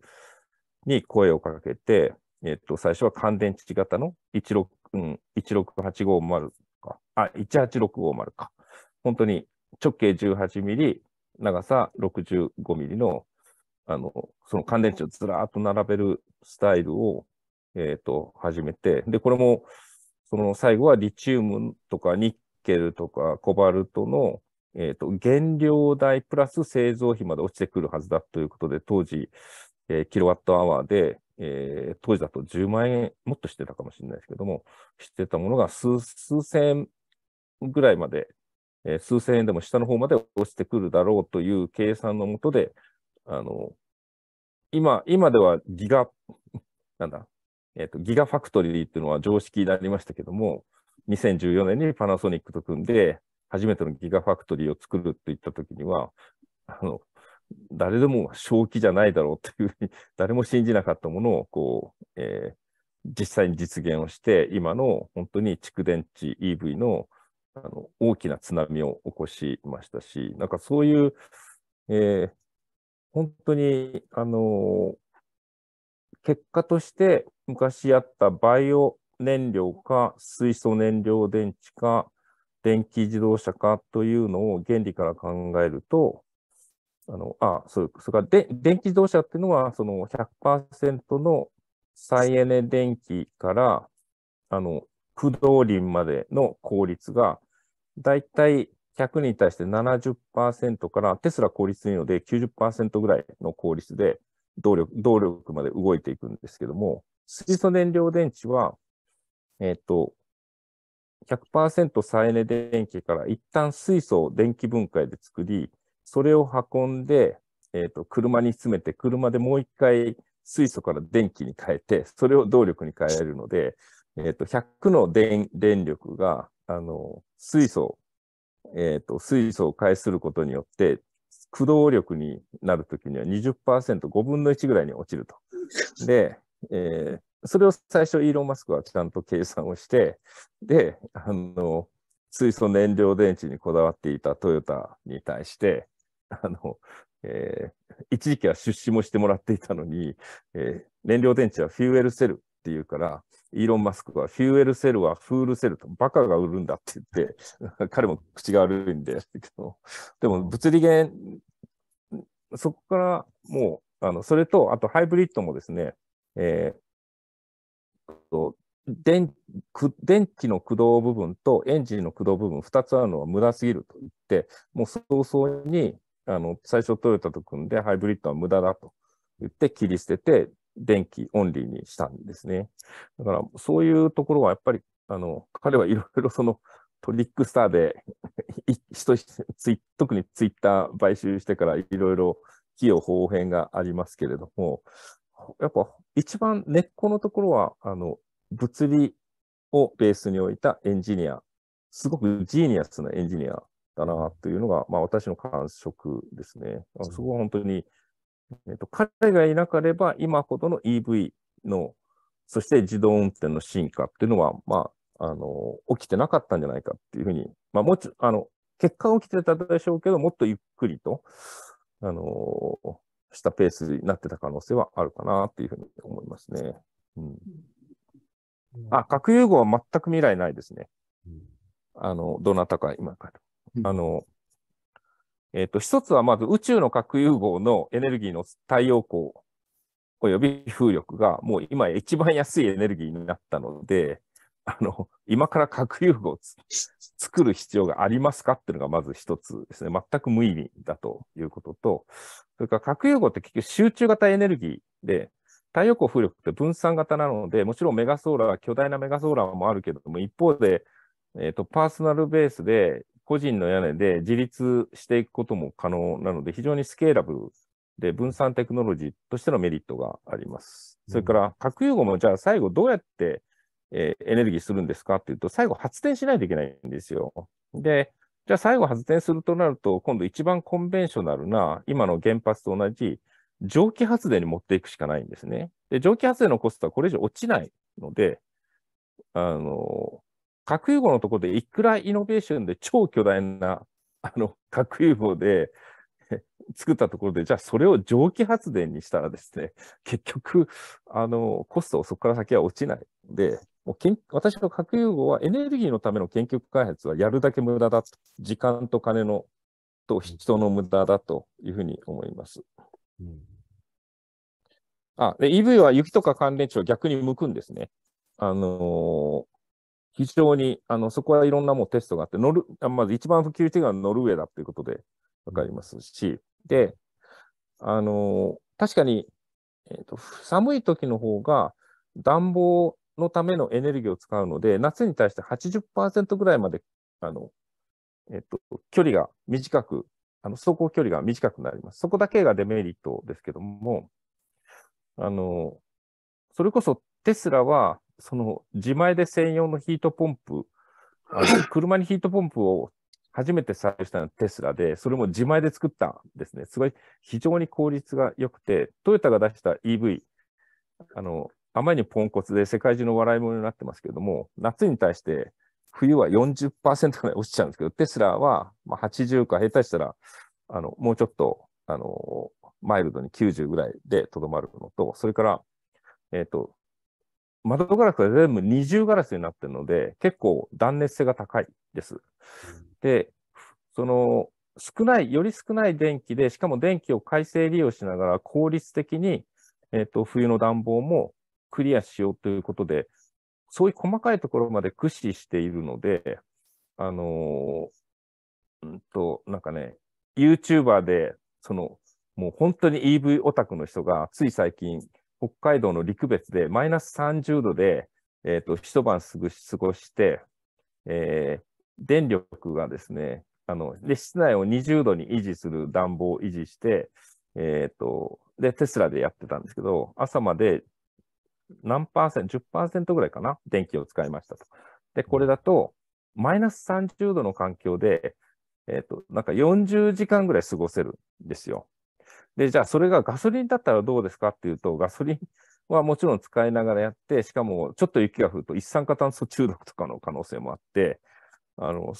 だから非常にその、むしろ寒いところの方が EV が、あの、夏に比べると落ちるけれども、ガソリン車に比べるとメリットがあるというふうに今なりつつありますね。うんあの、ヨーロッパで EU 圏内で電気自動車が増えているのは、あれはメーカーとしては、はい、あのボル、ボルボです。フォルクスワーゲンですか？あ、数が多いのは、えっと、去年まではフォルクスワーゲンでしたけど、今、はい、テスラがフォルクスワーゲンを追い越しつつあります。で、フォルクスワーゲンは今、あの、えっと、若干、若干というか急速に鈍りつつあって、というのはテスラが去年の3月に、あの、ギガベルリンというベルリンに工場を作って、えー、あと中国の余裕もあったので、えー、ベルリンからの出荷が増え始めたのと、中国からの大量な輸出で、今まではその、えっ、ー、と、えーと、需要はあったけれども、それをさばけるだけの生産がなかったんですが、それが追いつき始めてたので、あのすごいペースでテスラが伸びつつあって、フォルクスワーゲンが鈍ってきていると。で、まあい、で、日産のリーフが激減していってます。残念ながらですね。はい。これやっぱり製造が追いつかないってことですか？それ性能、性能が悪いんですか？あ、もう、まず日産のリーフは完全に性能が悪いです。うん、あの、今、最新のあれに比べると。うん、で、やっぱり、あのー、テスラは一回試乗されるとわかりますけど、もう、2007年にガラケーからアップルの iPhone が出たような、完全にもう違う体験とか違うものが経験できるんですね。それが、あの、インターフェースとかユーザビリティとかすべてのものによって全然違うので、だからまあ、その消費者は、そのテスラを選びつつあると。で、ただ一点だけまだ高いんですよね。で、中、まあ中とか高級車クラスに入るんですけど、それが最近一気に100万円ぐらい、100万円から200万円ぐらい一気に値段を下げたので、えっ、ー、と、また需要がボンと増えてきています。で、で、また、あの、もう一段多分廉価版を、あの、テスラは、多分来年ぐらいですかね、発表するだろうと言われているので、そうすると、今度中級者レベルまで出していくと。いうと、また需要を、またそこをがっぽり持っていくので、えー、もう本当に、あとそこに、あと、中国の BYD が今年から日本に入ってきます。中国の BYD は、ね、うん、あの、とりあえず中高級車から出してくるんですが、もうすでに中国で出ている、えー、っと、なんだ、シールだったっけな、えー、えー、は、あの、100万円台で買えるんですよ。それで日産の桜よりも、より性能がいいっていうか、より長距離で走れるので、あの、差し当たり、えっ、ー、と、寝頃感のある車としては、せっかく日産は桜を出して、結構スマッシュヒットをしたんだけども、えー、BYD のそそれが入ってくるとですね、そちらに今度食われちゃうということで、上はテスラ、下は BYD という感じに、多分席巻されていく絵柄が、もう今年から来年、日本の市場は見えてくるなっていう感じですね。B、BYD のね、この出るやつ440万で補助がつくから300万円台で買えるから、そうです、普通の日本の SUV よりもずっと快適だみたいな。はい、安いです、安いです。うん、あ、すいません。多分200、はい、はい、はい。ね、あの、なんか、えっ、ー、と、石狩市の藤田さんがずっと手を挙げてらっしゃるので、うん、はい。え藤田さんどうぞ。はい。いや、ちょっとあの、飯田さんの話、わかりづらくて複雑で。ちょっときついな、きついなと思って聞いてたんですが、はい、まあなんでそんなに難しくてわかりづらいのかなっていうの。今まあ後半の話を車の話始めてまあ半分分かった感じがします。はい、今日はあの再エネ大転換とモビリティ大転換ということで、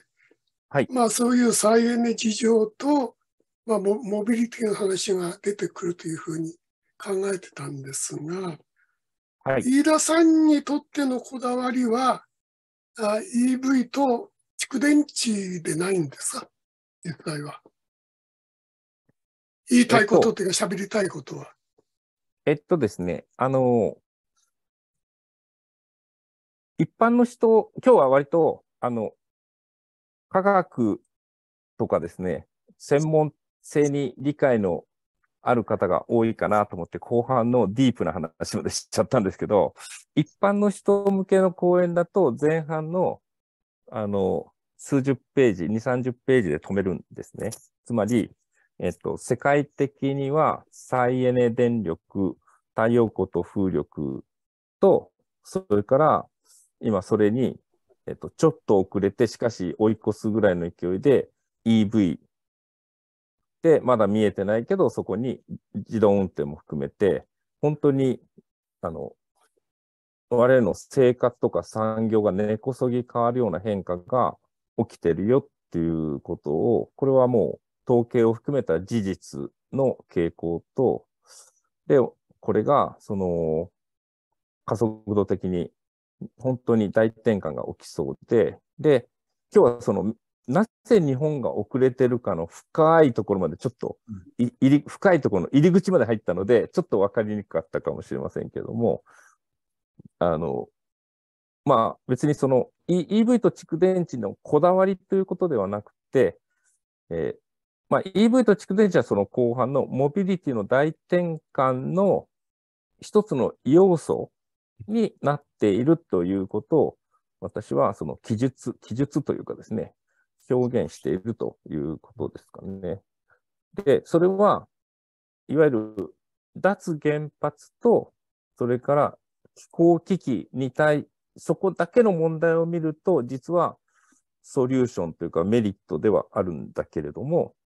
ただし、その今の EV 転換に象徴ですけれども、反作用もあって、あの、日本の自動車産業を含めて、日本の経済、やばくなりそう、雇用も含めてやばくなりそうだなっていうところに備えなきゃいけないということと、一方、再エネ電力に関しては、日本の、えー、既得権益というか、既存の電力会社と、あと経済産業省の役人の人たちの、もう、なんていうか、こう、サボタージュによって、えー、完全に日本だけが再エネ転換止めさせられているという現状ですかね。で、そのあたりを、この二つをですね、これ、これからどのように、えー、まあ、それこそ地域をベースに、えー、日本をもうちょっとそのまっとうな社会にしていくのに、やはり地域から変化の道筋を作っていくしかないんじゃないですかっていうメッセージを、まあ、ちょっと途中の難しい複雑な話を一般の人向けには本当は中抜きして、そこは飛ばして、そこにすっ飛ぶんですけども、今日はちょっとそこを途中、深いところに入っちゃったので、分かりにくかったかもしれません。はい、いや、分かるところはよく分かるんでしたですけども、分かりましたですけども、はい、なぜ EV、あの、はい、まあ、電気自動車なのかというところの関連がね、ん？いや、それとわからんかったですね。うん、実際に変化が進行してるってことですね。そうです、そうです。あの、私が EV が好きだとかいうことではなくて、そうです実際に世界で起きてる変化だテスラ好きなんじゃないですか？テスラだとか、EV 好きだし、いやいや、という感想を持ったんですが。えっと、まあそこら辺は議論してもちょっと、とかの、はい、感情論は横に置いといて、起きていることを客観的に見なきゃいけないんですよ。後半の話、うん、あの、林さんへの回答のことで、よく、あの、よく分かったです。はい。で最後に一つだけ質問したいんですが、はい、まあ、役人、はい、日本の役人の質が、レベルが低下して、上昇する目処がない、うんうん、みみたいな話は、まあ実感としてよくわかるし、いろんな、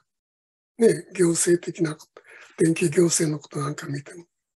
そう思うんです。飯田さんはそれを打開するにはどうすべきかなということをちょっと聞きたいんですよね。で、僕が思うには、あの、やっぱり原発、この間の福島の原発事故に対する、あの、結論っていうのか、あ後始末がやられてない。原発廃棄するわけでない、うん、えー、高い濃度の廃棄物を処理、処理するわけでない処理もできない。このあたりの頭の悪さなり、あるいは決断の悪さ、それは国民的な運動としても同じなんですけども、うん、やっぱり福島の事故に対する、あの、確信が役人も国民も持ってなくて、持てなくて、うん、途中をこうやっていろいろ、あの、フィットだ、再エネだ、えー、原子力も半分だみたいな形で考えてるから前に進まないなというふうに僕は考えてるんですけど、その辺はどうなんですか？いや、日本の役人の問題はね、あの、多分その、原発とか再エネとかその中身の話よりももっと根深いというか、やはりその、旧内務省から生き延びている今の、なんていうか、仕組みとしてのこの官僚システムそのものを、が、えー、抱えてる闇というか 問題なので、あの、あの福島原発事故の時に、あまあ、一つは、そうですね、えっ、ー、と、2009年の民主党への政権交代の時に、まあ民主党全く準備できてなかったんですが、その、実質役人の中で、えー、物事が決まる仕組みのところに、まあちょっとでも変化のメスを入れておけば可能性あったんでしょうけど、それはできなかったと。それから、福島原発事故の後に、やはり経済産業省を含めて、まあ、東京電力の責任すらちゃんと問えなかったわけですけれども、東京電力すら破綻させることができず、で、えー、経済産業省そのものも役人の責任を通ってそこをメスを入れる、より大きなエネルギーがあの時には本来あったはずなんですけども、その改革まで、えー、切り込む、その体制ができなかった。ので、今やもう経産省、まあ、その後、最悪の安倍政権、まあ、安倍さんそのものとそこにくっついていた今井隆也という元経産官僚の非常に剛腕の経産官僚が入ってきて、今やもう本当に、え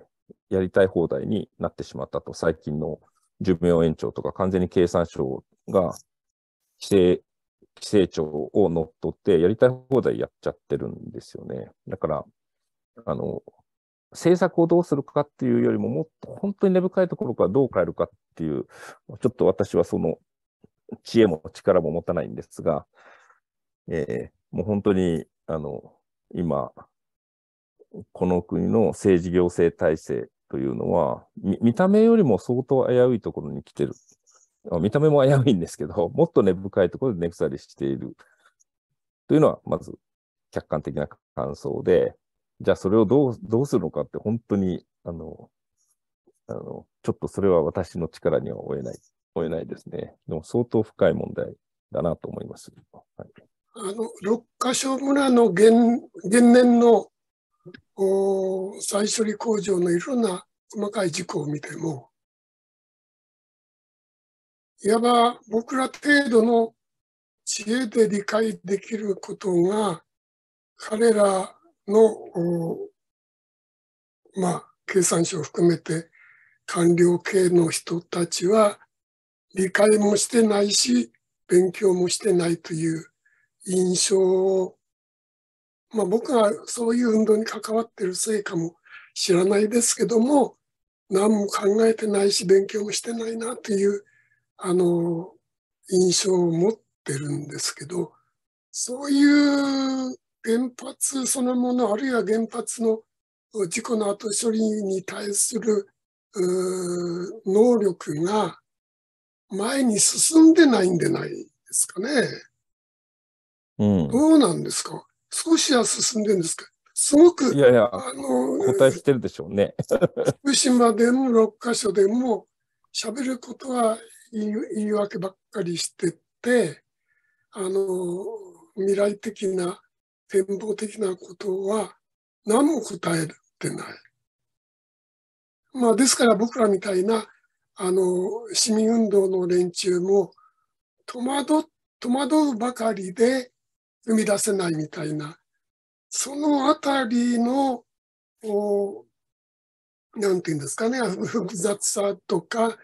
あの、わかりにくさが、この再エネ問題、電力問題一般に広がってんじゃないかなと思うんですよね。うん。なんかめまあ、意見半分ですけど、終わりします。はい。はいえっ、と、はい。それじゃあ、えっ、と、ちょっとだいぶ時間オーバーしましたけれども、すいません。えー、飯田さん、大変ありがとうございました。はい。はい、あ、こちらこそ。えっ、と、はい。それじゃあ、あの、最後にちょっと、えっ、と、次回のお知らせなんですけれども、えー、ちょっと画面共有させていただきます。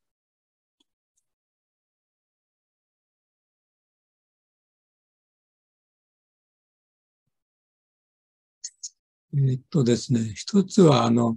あまあ、二つちょっとご案内があるんですけど、一つは、えっと、日本疫学会の雑誌ですね、疫学会誌、その、えっと、昨年末の、えー、別冊でですね、えー、福島特集号っていうのが出てるんですね。で、そこには、あの、えっと、福島県立医大のえー、県民健康調査に関わっている人たちが、えー、11, 11本の論文を出しています。それが昨年の、ね、年末に、えー、発表されているんですけども、えっ、ー、と、それ、あの、こういうジャーナルオブエピデミオロジーという、えー、雑誌なんですが、で、まあ、県民健康調査のまとめが書かれてるんですね。でそこで言ってるのは、結局、その、まあ、小児甲状腺がんが増加したのは、えー、放射線被曝が原因ではなくて、えー、高感度の超音波スクリーニングをやった結果であるというふうな結論になっています。それで、まあ、特にその11本の論文のうち、まあ、第3の論文では、えー、福島検討委員会の、えー、中間取りまとめを引用してるんですけども、それが、あの、全く改ざんして引用してるんですね。で、この検討委員会の中間まといまとめ、えっ、ー、と、2016年3月のものですけれども、そこでも、あの、甲状腺がんが数十倍の多発だというふうに言ってる、書いてあるんですけれども、これがこの、えー、第3の論文ではですね、数倍の多発というふうになってますね。でまあ、元は英語ですけども、at the rate of times、まあ、数倍の多発に、えー、まさに桁違いに過小評価されてしまって。で、それで、えー、放射能の影響じゃないというようなことを言ってます。それで、えっ、と、今年の3月4日ですね。えっ、と、福島県立医大でもって、えー、この、えー、国際シンポジウムとして呼びかけてまして、えー、この、えー、甲状腺がんは、えー、放射能のせいじゃないというふうな話を、えー、国際的に広めようとしているということです。で、これに対して、えっ、ー、と、一応、3月、前日の3月の3日にですね、えー、福島大学で、この、えー、今の特集号と、それからアンスケア2020、2021レポートの、えー、もうどちらも同じようにやっぱり、えー、過剰診断だというふうに言ってるんですけど、それの、それを検証するするシンポジウムを行います。で、えっ、ー、と、これはあの、まあ、会場と、それからオンラインでも中継しますので、えー、えー、ます。で、えっ、ー、と、第1部は、あの、えー、まあ、検証特集で、え、津田さんとか加藤さん、黒川さん、本業さんの、えー、専門家の方に、えー、お話をしていただくと。それから第2部では、えー、その原発事故による健康被害の実情を考えるということで、えっ、と、まあ、甲状腺がんの問題を中心に、崎山さんと、それから、あの、えー、千葉千佳子さん、えー、アジサイの会の方ですけれども、えー、そのお二人を中心にディスカッションをするというふうなことを、が予定されています。で、えっ、ー、と、オンラインでも参加できますので、えー、ここから、あの、えー、ぜひ、えー、申し込んでいただいて、えー、ご参加いただきたいと思います。でこれは、あの、お知らせは、えー、またもって、あの、えー、動画配信のお知らせなんかと一緒にお送りできると思います。それから、あの、このオンライン被爆学習会の次回ですけれども、えー、次回は3月の13日の月曜日の夜ですね、7時から。で、えっ、と、鴨下さんというあの、えいわき市から東京に、えー、一家で避難しているうちの、えー、まあ、えー、奥さんと、それから、えー、まあ、えー、ゆうやさん、それから、えー、長男の松木さんの3人に、えー、原発事故から12年、終わらない苦難の日々ということでお話しいただきますので、えー、こちらも皆さん、えー、ご参加いただきたいと思います。そうなんですね。えっ、ー、と、一応皆さん、あの、えっ、ー、と、ミュートを解除していただいて、えー、最後にあの、今日お話しいただいた飯田さんに、えー、感謝の、えー、拍手を送りたいと思います。飯田さんどうも。ありがとうございました。ありがとうございました。ありがとうございました。